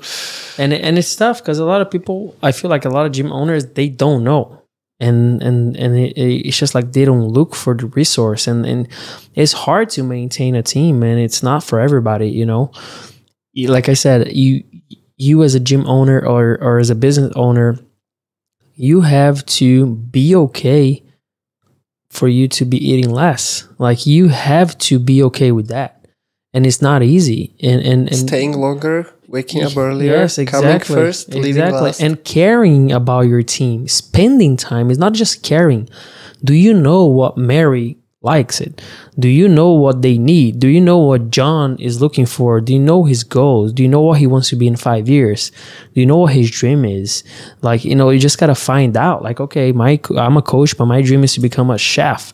Okay, how about we open we open uh, something related to food here? And like, there, there's always ways of motivating your your crew, but you need to know. And it's not like, uh, oh i paid this guy to do that. Okay but you also because you're the leader you're the owner so you also need to be in touch with all that information. And what if you have people who just want to come in, coach, go home to the kids? perfect. That's that's a goal. So don't give them more hours. Don't give them more responsibility. Okay, so you, you don't mind that kind of attitude. not at all. Okay. like it, it depends on the structure that you have for your gym. If you're looking to like to to to build something where your gyms your coaches like i used to have a coach that he would like listen i want to he was the best coach. He was amazing but he only wanted to coach 5 a.m every day. That's it. That's all he wanted. Okay that's somebody to open the gym right? And we like to keep him around. And and other coaches like oh but he doesn't do anything whatever but that's not his that's not your job to no everybody have their own different roles. So from my perspective in my company i don't mind having that type of person if that person adds value and classes. Because like i like the person to do to go above and beyond and do that. But again you can always find something for your coach to do if it's something related to what they like. If you got a coach that just want to spend more time with your kids or whatever whatever maybe he loves kids so maybe we're going to do an event with kids. Like you can always find a way Do a kids class. Yeah, because the coach, like, it, or maybe just a kid event, or maybe whatever. Like, if the coach is at the gym and wants to coach, it's because they like to be around people, so they like to that environment. So it's just finding a way to motivate them. And if they don't want to be anything else, they just want to have that as a hobby. Oh, good. You know, so you know you can expect that person. You know, like you know you know how much to expect from that person and and it's okay in, in this type of business. But again if you want to build a franchise if you want to build a team that wants to leave and do and, and do that then that's different you know? But not a lot of gyms want to open more gyms. They just want to have that gym. And if you just want to have that gym that's fine. But if you want to become vogue fitness then that might be different. You might have you know you're going to need Yeah. somebody to invest a little bit more on that you know? Which some companies don't even hire part-time you know? Like they just want people full-time which is fine too but you just gotta find as long as you bring value to the company in some way it's all good. It can work one day. That person brings value it's enough. What would you say is just this is just from your experience and your opinion on first personal training? Hmm how much coaches should have of a personal training versus the classes or where in a gym where you were leading it was it enough for coach to make enough money just from the classes? I made that. Most of my coaches will make enough money. Not all of them. But the coaches that would not make enough money coaching they were making money somewhere else. All right. So if the financial part so different roles for example whatever social media or something like that yeah? Correct. Mhm. so you like if if now to i'm gonna ask you a question about your question right? Yeah. how much personal training should be done with that coach? You mean for the financial part or you mean just for the hours or? Uh, hours. Hours. Hours. I think a coach is a coach first but if i think if the coach has his schedule and he's doing more personal training and as long as it's not affecting his coaching then it's fine. Uh, my coach the priority is the coach. The personal training is extra yeah it's just like I hire you for something else. As long as like you don't mess up what I hire you for, it's Yeah. fine. You can do anything. so how many hours a week I think for me, what works throughout this, um, you know, ten years around this stuff, I think three hours in a row is what it's enough. You can always do four or five, but I think three is that perfect number. If you can maintain your coaches with three hours in a row, that's good, and maybe another three for personal training. So I think anywhere from six hours okay so for classes only classes now only. classes only uh, per week let's say 15 20 Yeah, fifteen to twenty. I think twenty is a good number. 20 is a good yeah, cap yeah, it's a Okay. good cap. I've coached before. The gym that I start coaching, our classes was five in the morning to eight p.m. So 16 hours a day. And I've coached 12 to 15 classes in a row before. Oh, you had class every hour? 5, 6, 7, 8, 9, 10, 11, 1, 2, 3, 4, 5, 6, 7, 8. Really? Mm-hmm. 16 hours a day. How many people per class, like on average? Average. Like, okay, so definitely the morning Yeah. was busier. Yeah, but evening- like the, the minimum will be like three to five. really Yeah. on every single one. two- yeah. How Crazy. the what the Crazy. I know, That's crazy. crazy. But So you run over. but, but some classes wouldn't have any member. Like you have like 2 p.m. with zero people. Like that will happen every once in a while, okay, right? okay, But like like meaning I've coached 15 hours in a row for months.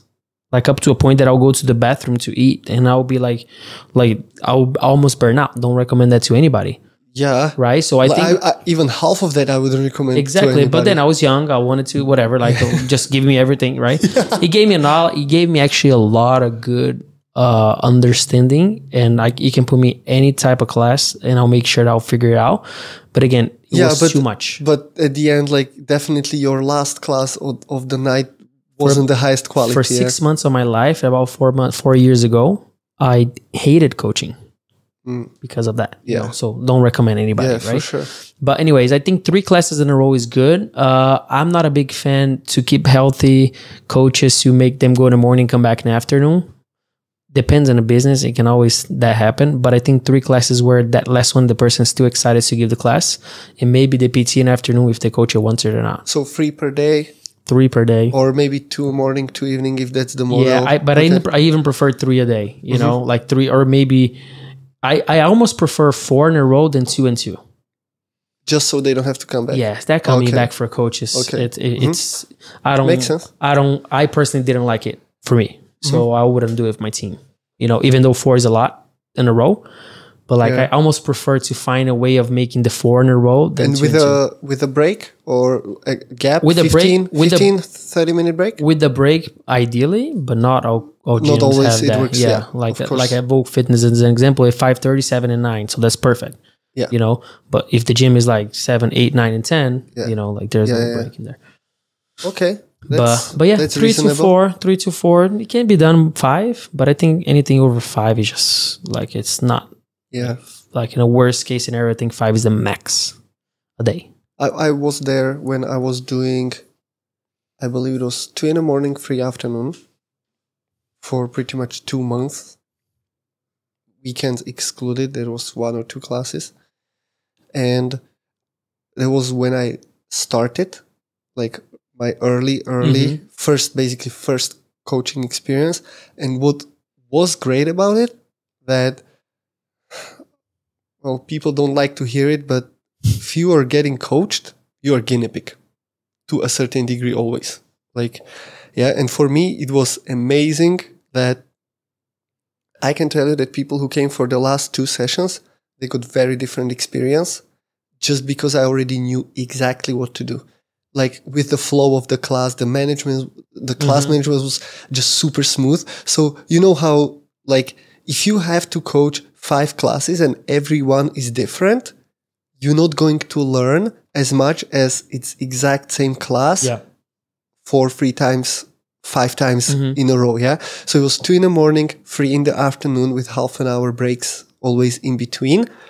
And it just like the awareness, the group management, the communication skills, everything just skyrocketed. It was amazing just because I was exposed to exact same class over and over again and I could fine tune the details Mm-hmm. and I had no other uh, commitments or nothing else to do anyway. So Yeah, yeah. I enjoyed the shit Yeah, out of it. you know? Like so I uh, I wasn't burned out. I wasn't, you know, I was really, really enjoying that. So No, that thirty minute break it, it makes a huge difference. Yeah. I can tell that. you can eat in 30 yeah if you have to do three classes in a row every single day like after doing two in the morning it's a whole different game you know uh, but the group management and and understanding the room i got to a point that i like to teach that and for my coaches or whoever is around me is it's the same for every class it's basically like for little amount of people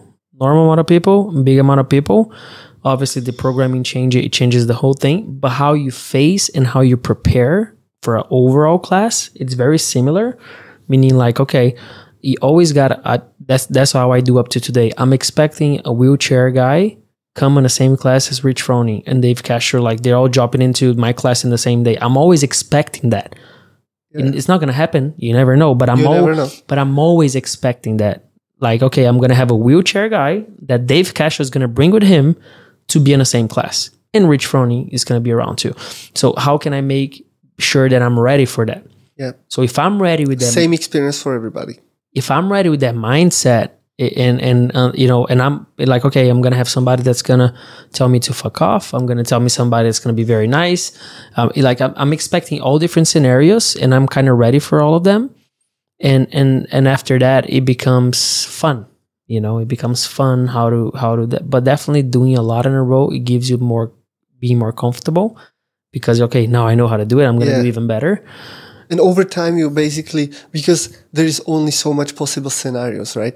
So over time, you already have that experience because this was similar than that. And you just build it on top of it. But Yeah. because it was very early, it was when I was starting, it was, I would say it was exactly what I needed at that moment. it's like me the 15 much. hours a day Yeah. it sounds crazy but it's what i needed like it's like it helped me so much yeah, I think that's like a different level Uh, extreme. and no front desk you know no front desk if there's any walk in like so i've been to the worst case scenario for a coach which is great but i've been too much almost um, the time that i burn out but it was enough for me to kind of okay now i can see what's what's good and what's not good what's the perfect case scenario yeah. a coach can coach us eight classes a day, six classes a day.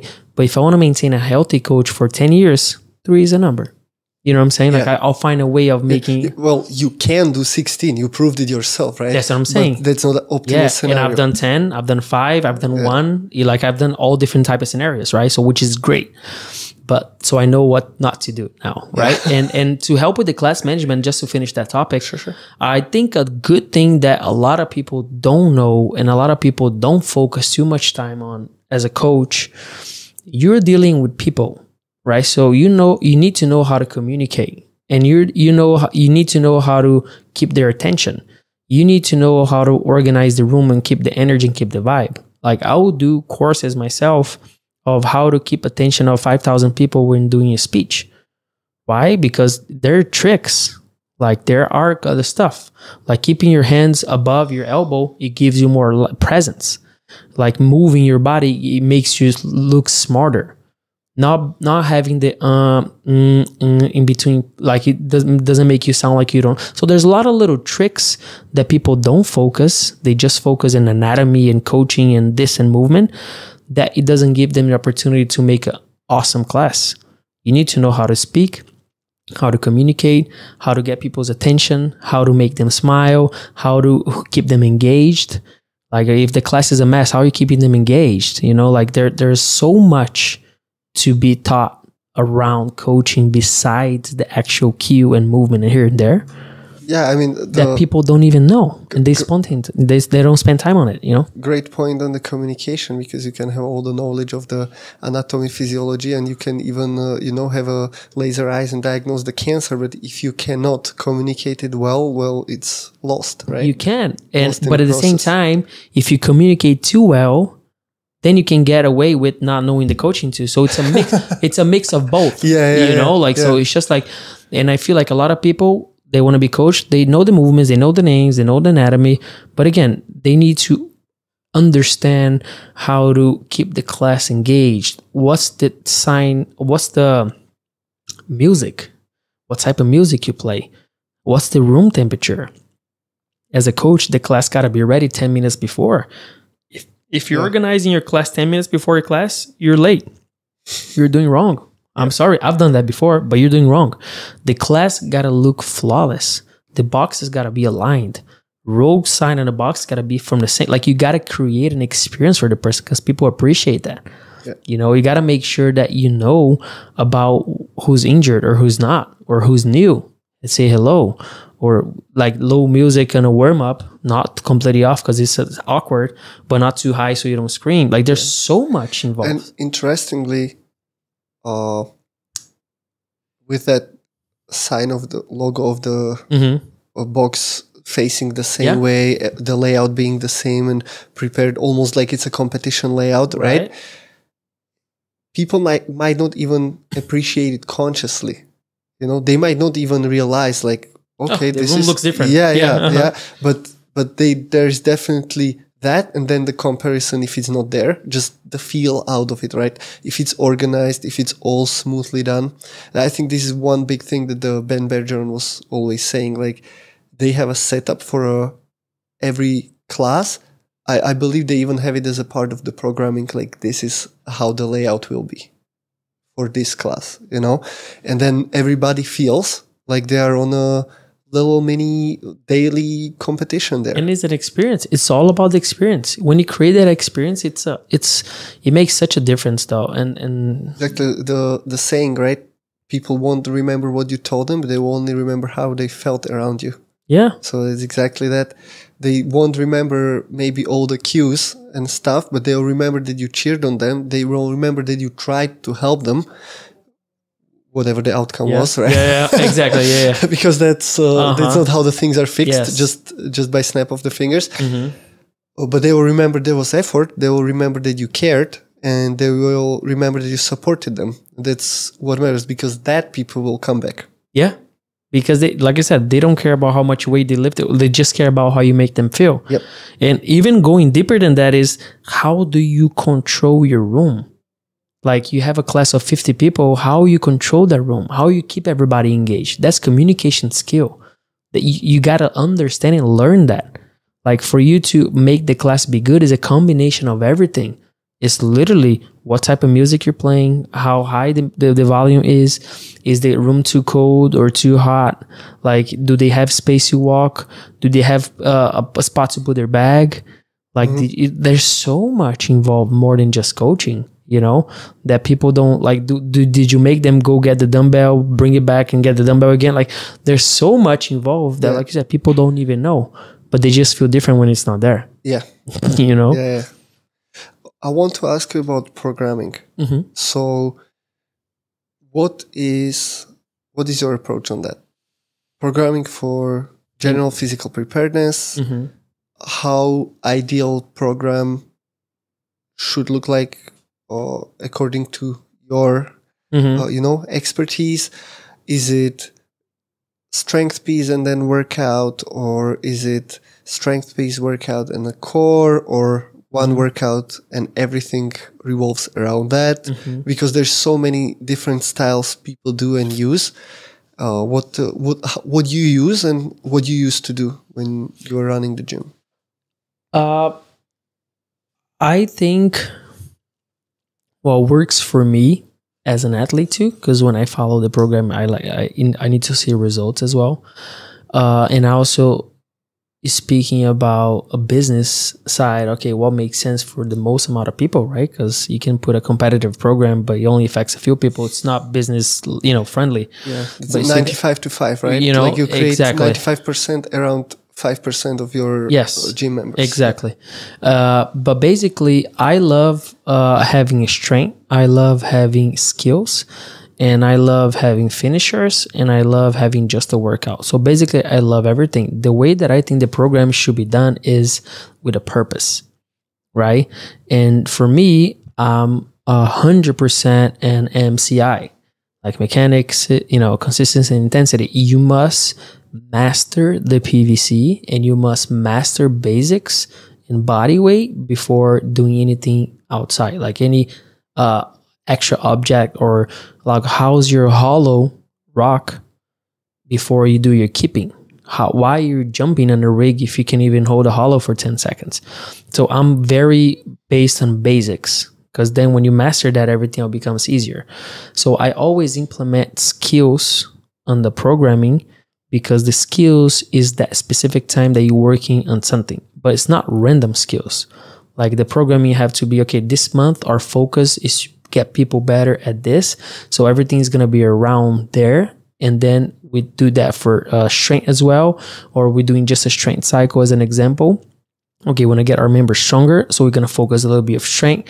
And sometimes I do the workout first and then strength after which is some people love that. And I found myself liking it sometimes, depending on how the workout is, to actually do a heavy back squat after because I'm fully warmed up for that. So it really varies. I'm not super like, okay, there's only one way of doing it. There's only, you know, I, I like 45 minute EMOMs, you know, uh, but I also like a seven minute AMRAP and spending 25 minutes on skills.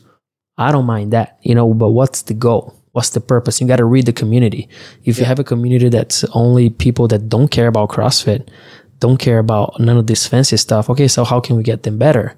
But also, how can we feed those people that that care about the competition or they care about this and this and that, you know?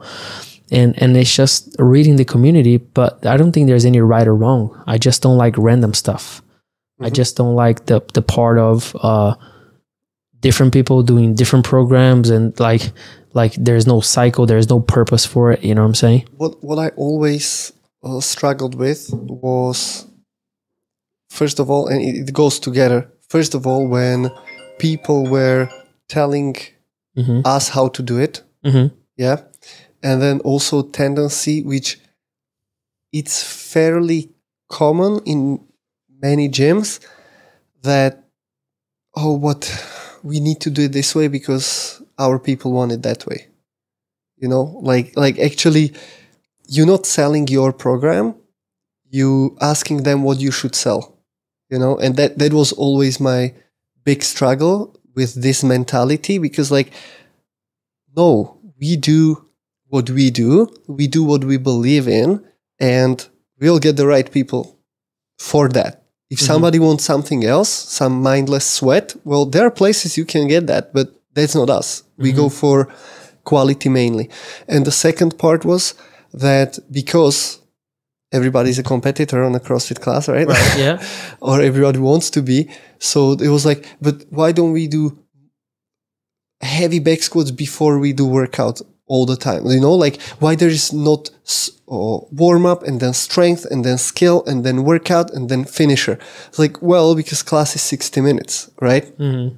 and they saw it because they will look at uh, you know uh, Noah Ohlsen will post what he was doing for a prep of the games for last two months and he will upload a file online. Like guys this is what i did. Just i don't know if he's selling it or it's a, a free uh, Trial. free trial or uh, some teaser for a Training Think Tank uh, programming whatever it is but he will release it right? And then you look at it and it's like yeah it has seven pieces there for a day but he's not doing it in one hour he's doing it in whole day you know like one piece then another then break food nap another yeah so so that misconception that it needs to be like a whole crossfit in one hour like everything in one hour i always had a struggle with that and to explain people i mean we to did explain coaches or members.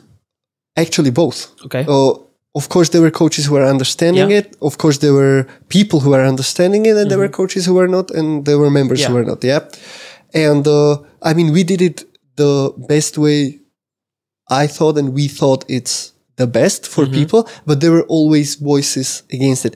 Like I, I do not understand if somebody in a CrossFit class where you have general population, okay, they might be fit, mm-hmm. they might be well performing, Mhm. but they are far from semifinal qualifiers, let's say. And you do skill of handstand walk as a warm up, then I'm, I'm exaggerating a little Yeah, bit, but yeah, yeah, you know, yeah. Then you do clean and jerk for a build up to a heavy clean and jerk. Then you do back squats and the workout has a squat snatches. Like, why? Just focus, as you said, like have a purpose and focus on one thing. Okay, if today's things are deadlifts, then cool. Do heavy deadlifts at the beginning and then do some lighter deadlifts or some similar movement like single leg hinging as an accessory or whatever bridge, whatever. yeah, yeah, wh- whatever it is, hip thrusts, Mm-hmm. yeah, just an sorry, with some more conditioning. Let's say, I mean, hip thrust and assault bike. That's a yeah. terrible combination. yeah. Mm-hmm. No, but so I get what you know what I mean. Yeah. So like, it doesn't need to be seven different movements in one session just so we can say that we did absolutely everything. And like keep mm-hmm. something for a following day, right? Mm-hmm.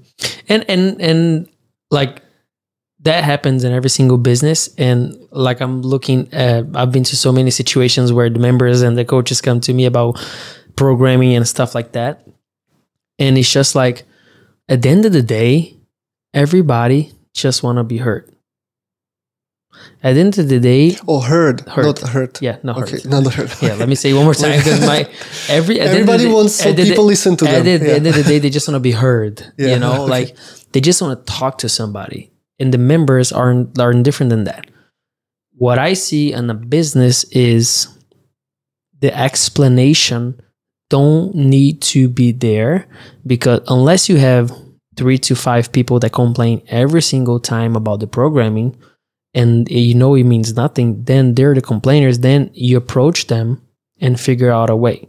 But otherwise if you have mary that complained that today we had too much squat snatch she's just complaining today because she had a bad day. Like she's like you know what i'm saying? But if you have the coach or a person that's consistently complaining or not understanding something then the problem is the person if you know you're doing a good job with the programming right? And looking on the business side everybody complains about everything in the world. How can you make sure that you don't you're not so aggressively aggressive? You, how can you make sure that you're not aggressive with those people to make sure that they see you as a company and they still going to consume your product? Is hiring people that know how to talk. Mm. is make sure to have people around on the gym because your gym it's a business gym owners. Your gym is a business. It's not a hobby. If you keep treating as a hobby you're going to have silly little problems. If you treat as a business then you understand a lot more and then you avoid all this. So hire somebody.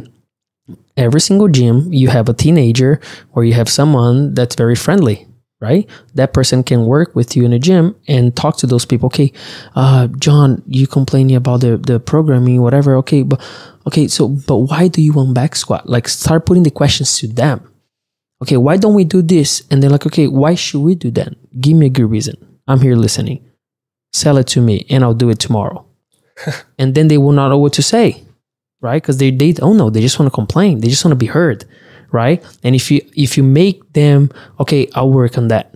Okay i'll do my best. So oh you want the back squat why do you want back squat? Oh because you want to get better at your legs. Oh because if oh how about that? I'll give you a special program for you so you can do before the class. It's going to take 10 minutes a day. That's it. You're selling programming right there. Yeah. it's just looking from a different point of view Yeah. you know and and not being uh, not taking personal because nothing is personal. Nothing in life is personal if you ask me. Yeah, I have I have a I believe that this is a very big problem that people have as a coaches as well. Like immediately as the client, and it might be on a personal training, it might be on the class, it might be within the gym. Uh, if uh, somebody will ask them a question, why is it this way? And they, they already see it as a personal attack. They already think that that's questioning them, that's questioning their methods, and that's questioning the efficiency. You of don't know enough, yeah. yeah, yeah, yeah. And uh, it just might be a genuine interest, or as you're saying, they're having a bad day and they want to take it out on somebody. And listen, Yeah. it might make sense. They might be right about something. I had members that came to me and say, "Listen, the programming we haven't touched wall balls in a while," and I was like, "Oh shit." Right, let me Yeah, figure it out why, you know, and uh, it's fine. Just take it as as not an offense. But if your coach is taking everything personal, then the problem is the coach, not the member. you know, Mm-hmm. And and I believe that if it's too much of a complaining, then there's something there. But if you want to be even more professional, have that smile person, that happy face that everybody loves it, that don't take anything personal, and take care of all the complaints, guys. We want to make sure that every single person in the gym have the best experience in the world. So we are investing time and money in a different type of role now, which is gonna be the heart of the gym, the heart manager of the gym that makes sure that everybody is happy all the time. Any complaints, you go to Mary. She's prepared for that. this is this is epic solution because if that person is there their job is to take all the complaints and you know like uh, whatever Filter you, them to the owner, yeah. yeah like whatever you uh uh, whatever you call that role like a happiness manager or Yeah. you know You can make up a name. yeah whatever you complain to that whatever people complain to that person about is never going to get personal for them because they are not in charge of programming they are not coaching they are not you know They're not the ones doing yeah it's it's always not going to be personal Yes. which is like a brilliant uh, brilliant way or just get somebody with no emotions yeah. Or or, or another tip: get a very good looking lady or a very strong dude. and the complaints are gonna get less and less and less. You know what I'm saying? It's just how people are, right? So, like, Yeah. if you really want to invest in that, and and people are gonna be like, "Oh my god, uh, look at Luan. He's really investing in the gym. He's making sure that we're happy by having somebody just to make sure that we're happy." That's amazing. Now you turn the situation. would you take that as a full-time role in a gym or who who would you hire for this Uh, that person, it can be the front desk. Uh, necess- ideally both like to be the same person, right? Every every complaint go to the front desk, and it can be the same person. But listen, depending on how many people I have, I'll consider that person to be like a, a kind of community manager. And take care of not only that, but then I'll find more roles. Like I'll literally be like, Yeah, okay, obviously that would be a little I bit need a- limited role yeah, there. but then I'll be like, okay, I need everybody's birthday. I need uh, one thing, one good thing about every person that, of the gym. That person will have to. I'll make that person work. events Yeah, Yeah, yeah. events or anything. Like, okay, every single member of the gym, I need to know their birthday. I need to know uh, one thing that they want. Like, I'll make sure that person really gets to the community, you know, and then and and that's it. Your problem is solved. But like you- like you said, that person is not even doing anything. So that person's like, okay, you know, and that if that person is smart, that person can be like, you know what? I also don't like the programming today. I'm gonna talk to the owner. Yeah. People that know how to talk, they will talk. You know. this is one other thing do you or have i mean Mm-hmm. now you're not Yeah. specifically in that role but Mm-hmm. do you advise the head coaches or owners to require for coaches to do the programming of the gym No. no Nope. so you don't mind if coaches are not doing the programming Not at all. with the members coaches are not programmers. It's two no different no no i mean i mean to do the class what do you mean? uh, not to do the programming i mean to do the class with members like Oh, to have yes. the same experience So sorry. okay Yeah, that's that's absolutely yes. I Yes. thought you being like meaning the programming like writing. No, no, no, no, Yeah. no. I mean, like to Yeah. to actually follow the program yeah. same so way. Yeah. to to answer the question that you didn't ask, like they, I- yeah, you're gonna my- get my there. bad. No, No, no, no, yeah, for it. yeah. Like meaning like the coaches uh don't have to do the programming. A programmer is one thing, a coach is another thing. Doesn't mean that they both are okay. So that's yeah. aside. And absolutely, like almost mandatory that they do two to three classes a week Perfect. with yeah. the class, not even an open gym. Yes, absolutely. with Not just have the experience of the workout; it's to have the experience the within the community. And as a head coach, you should do one every day. Because then you see the reality. Yeah. You know, that's the way you connect with people is by doing class with them. And if It's you partnering with Mary that don't even know how to squat, like making that person feel Yeah. good. You know, absolutely, a hundred percent. and you will also really think twice about putting people through some stupid shit if you do the program as well, right? Oh shit! What a long warm up. yeah. exactly. Yeah. You realize that for sure. No, uh, absolutely. It's it's like I said, it it is uh, mandatory, and uh, it can be even in a job role, like in a, in a like in a when you sign, when you become a, a, employee at the company, you might even be there. You must do the class. Mm-hmm. Okay, so it's part of your the salary. contract. Yeah, part of the contract. Nice. Okay, so we have some uh, Friends. animal activity here. Mm-hmm. Ida, Let me show you who's the boss. She, she's trying to play with him the same way she's playing with dogs in the park, so but he's not biting back, that- so she she, wants more and dog, more yeah. and more. Yeah. Okay. Anyway, Uh-huh. uh, so okay, so I want to ask you about your consulting stuff. What you do now? Perfect. Like, what is what is that about now? Yeah. So basically, uh, not sure if I have mentioned here yet, but I did mention to you, uh, I am at, with Vogue Fitness now. So I'm, I'm part of the team, uh, coaching only. That's my only role there. And uh, I do have my mentoring consulting company on the side that I built back in America, where I realized that helping gym owners and coaches, I'll more people. So I do have my online uh, company, which is online and in person, which is my mentoring company, which I assist uh, gym owners and coaches how to reach excellence, you know, in different areas. So we basically kind of got a short masterclass Correct. of what you do. Correct. Yeah. Correct. You look at their business, look at their community, maybe. Yeah. Look at everything you possibly can look Do at. a scan on it. Yeah. yeah. Analyze it and see the gaps, fill the gaps, Correct. or tell them how to fill the gaps. Correct. Yeah. And and people that just as a mentor and as a consultant, like it's like therapy. Like when you do therapy, it doesn't mean that you need help. It just means that you can get better. Yeah. So yeah, yeah. with the mentor, meaning like when gyms look at it, oh, I don't need a mentor. What do you mean? Am, am I doing anything wrong? No, no, no. But you can get better. Yeah. Just different ways of looking. You know. Yeah, yeah. It's not exactly. It doesn't necessarily mean that we always say coaches need coaches, right? Like it's, Yeah. it doesn't necessarily mean just because you do it for whatever X years. Maybe that is the problem that you do it for so long in the same way that you just stuck in some way and you just need a fresh perspective or just that mirror Yeah. that okay see. yeah see you see this is going on and i can imagine people just go whoa like Yes. oh it's, shit It's basically like you. It's like when you do, uh, you take medicine, not medicine. I'm not going to use medicine as as the example, but like, era. Let's say a couple, right? A couple goes to a therapy couple, right? So they go to a therapist. They take they usually, and the person like, why do you guys go to a therapy? You know, your measure looks good, everything looks good. So, and they're like, we go to uh the therapy so our marriage is good meaning Okay. like you don't wait for your marriage to get bad it's then- preventive correct Yeah. you know it's like you go to the doctor so then you don't take medicine Yeah. instead of taking medicine so you don't go like, you know what i'm saying yeah, yeah. so as a mentor it's the same thing like having somebody a mentor and a consultant and, and somebody to talk to you about specific situations it just prevents you for uh, getting into trouble you might your gym might be phenomenal but how about you have somebody with accountability so you don't get in trouble yeah. you know? So somebody who can see it from outside from a different perspective and can maybe see the let's say unhealthy habits that eventually might become a problem even it's not showing yet. Yeah.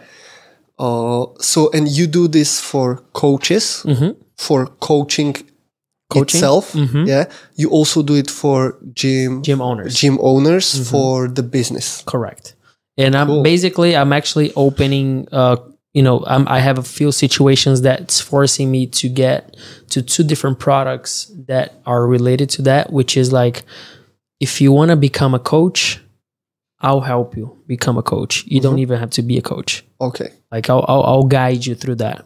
And if you want to open a gym, I have a I have that help as well. All right. Like you not necessarily have a like if you don't have a gym but you want to have a gym, I'll teach you how to get there in a healthy way, and then after that we can keep our mentoring so your gym keeps going in the right direction, right? Because I do have a lot of coaches that come to me like, oh, I wish I had a gym. I was like, okay, why don't you have? And then I start developing more of that, and I have uh, members that'll be like, okay, uh, I wish I was a coach. Okay, why are you not a coach? So you know, Yeah, like yeah. I'll kind of open those two doors. yeah. So it'd be kind of like kicking them Yeah, the, and- the direction they already want to go. It's right? just they, yeah, they have the yeah. So Yeah. they that's a big part of it. they they need the how to Yeah. get there. Yeah. Yeah. And understand why they Yeah, want that, yeah. you know? Cool. And uh, overall, hmm how is it going? It's doing great. Uh, I have a few clients back in Florida. Mm-hmm. Uh, I actually, I am building what I like to call a winning table is where I get together with a few people here in UAE already, Mm-hmm. where I talk and discuss with them a couple things about opening gyms and understanding where they at so I can develop that community.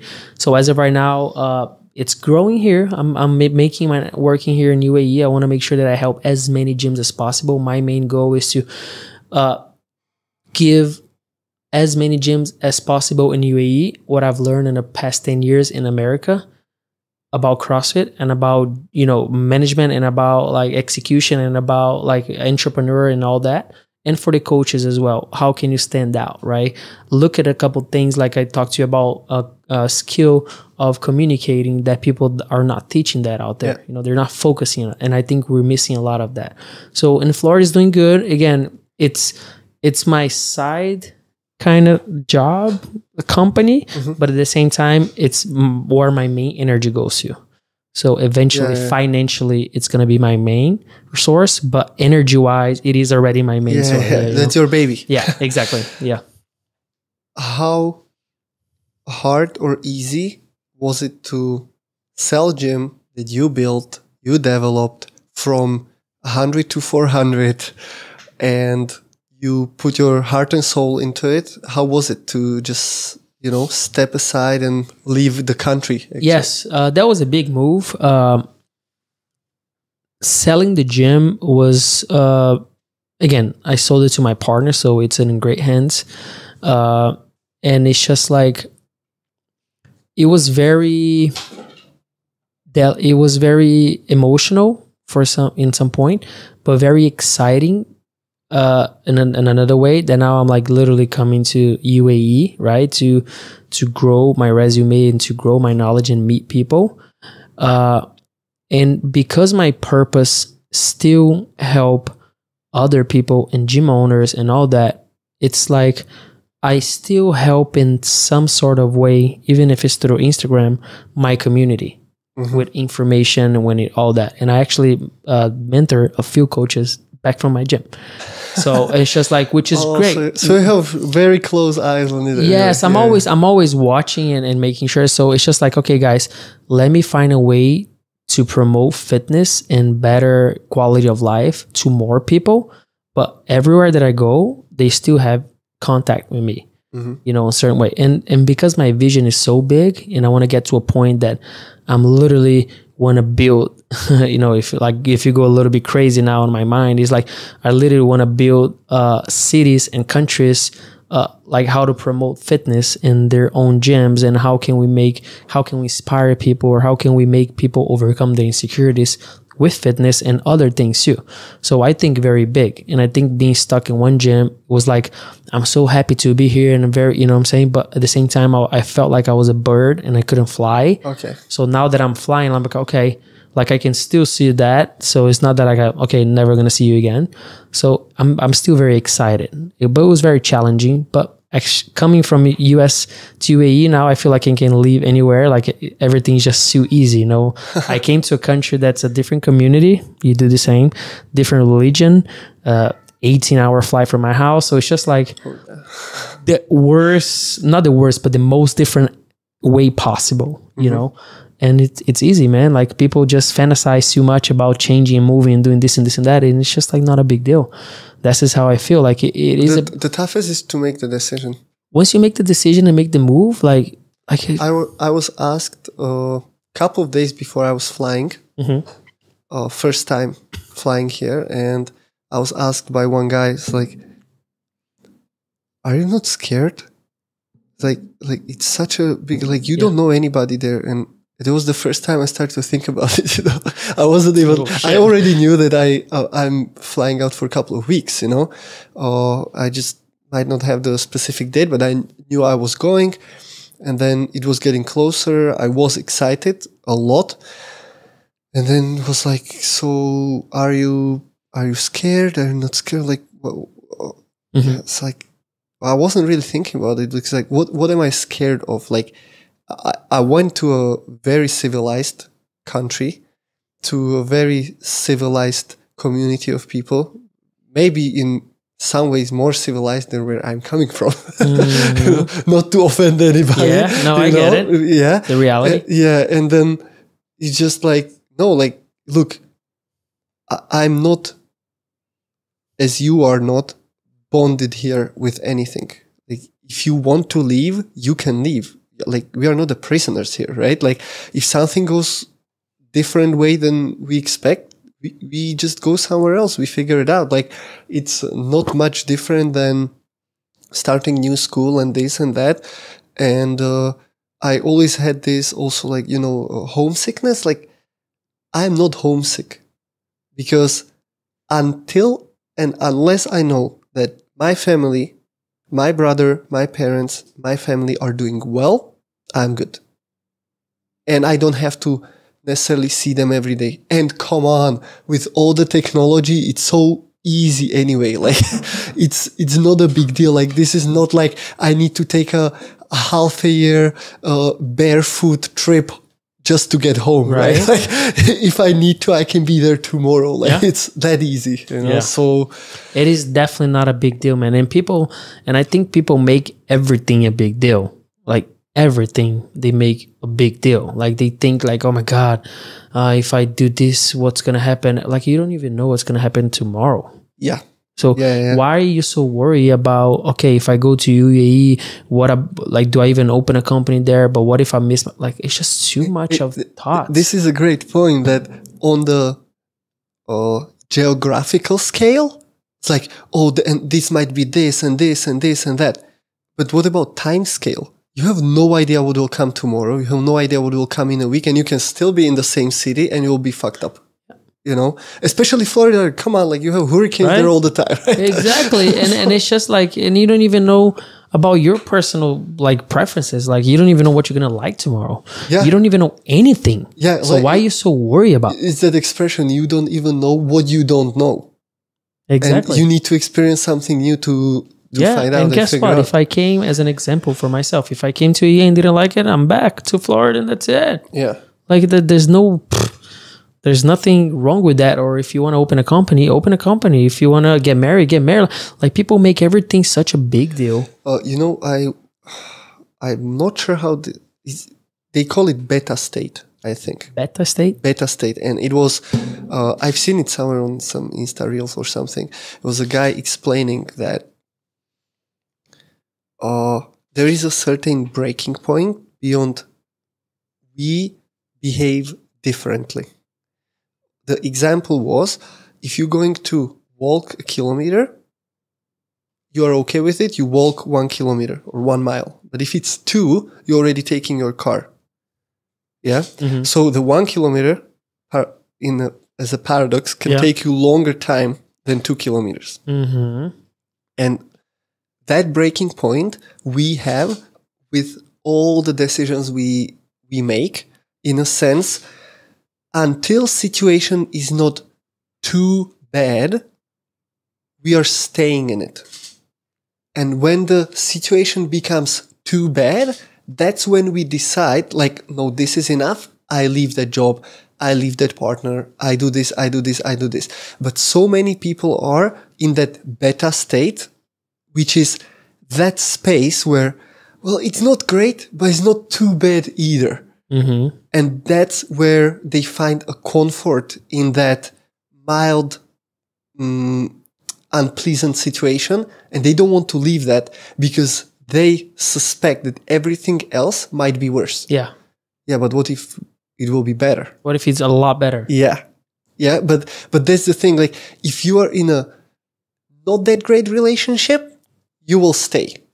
If it's fucking terrible you will leave. So sometimes making the situation way worse is actually helping people to make the decision right? Make make a move. yeah exactly. So that's that's that uh, That's kind a, of that's a very good point. that's that, that complacency that uh, people are many time in and that's why they don't want to move they don't want to try because like yeah but i mean it's not great what i do now but it's okay you know like it's that i'm fine you know well You gotta You be. You gotta be. You got exactly. You gotta be like either. My point of view, like speaking about happiness, either you gotta be so excited to do what you do, or you're doing wrong. There's no in between, Mm. and there is a thing for everybody.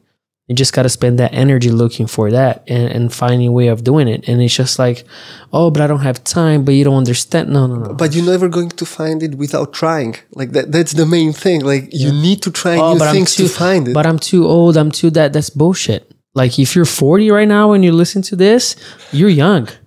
Like you can do. 40s You know, if you like unless you're like 75, 80 and you have no idea what you want, then you might freak out for a might be a little bit. bit Yeah. too late But like if you're 30, 20, like if you're 25, like you can f- do everything wrong for the next 10 years and you're still okay. Yeah, but even even 80, I mean, that might be an exception, obviously, Yeah. but it's a great example. Like a lady, she was like, I started to run when I was 80, and she's 100 years old and she's running marathons. You know, started How at crazy 80.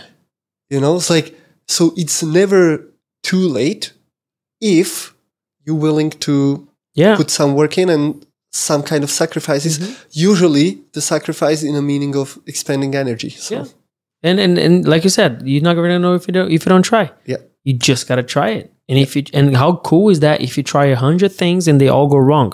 Now you know what not to do for a hundred things. And you have shit ton of experience. Yeah, and like you know where not to go. How cool is that? Now, Imagine like you think you want this, but you think you want that. No, it's just gotta. But but even even like what would be a definition like that thing didn't work out? It's like exactly. so what what did you lose? Like you lost money, like okay. Uh, you lost the time there, like okay, you still got the experience. yeah, exactly. You still got that experience from it. and so even if you hated doing that, you know where not to go. So that's experience, yeah, you know, exactly. That's so that's the- like okay, at least I know what to avoid. right? Yeah. So it's just like Stepping stone. yeah exactly it's not it's nothing is a big deal man people just make everything a big deal so coming here for me i was like okay goes well like and, and i have it in my heart that i have a purpose here and i have uh what i dream and i'm christian so everything that's in my heart i feel like it's god talking to me so what i have in my heart is so big that it didn't make any sense for me to stay one place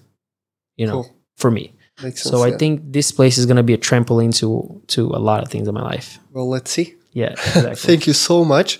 Uh, uh, you have something to add or to say to the end? Uh, no, it's just like if you're around the fitness industry, if you around this era area, and uh, you have a new guy in town, you have a new guy in the UAE. Count on me. I came with a tons of experience.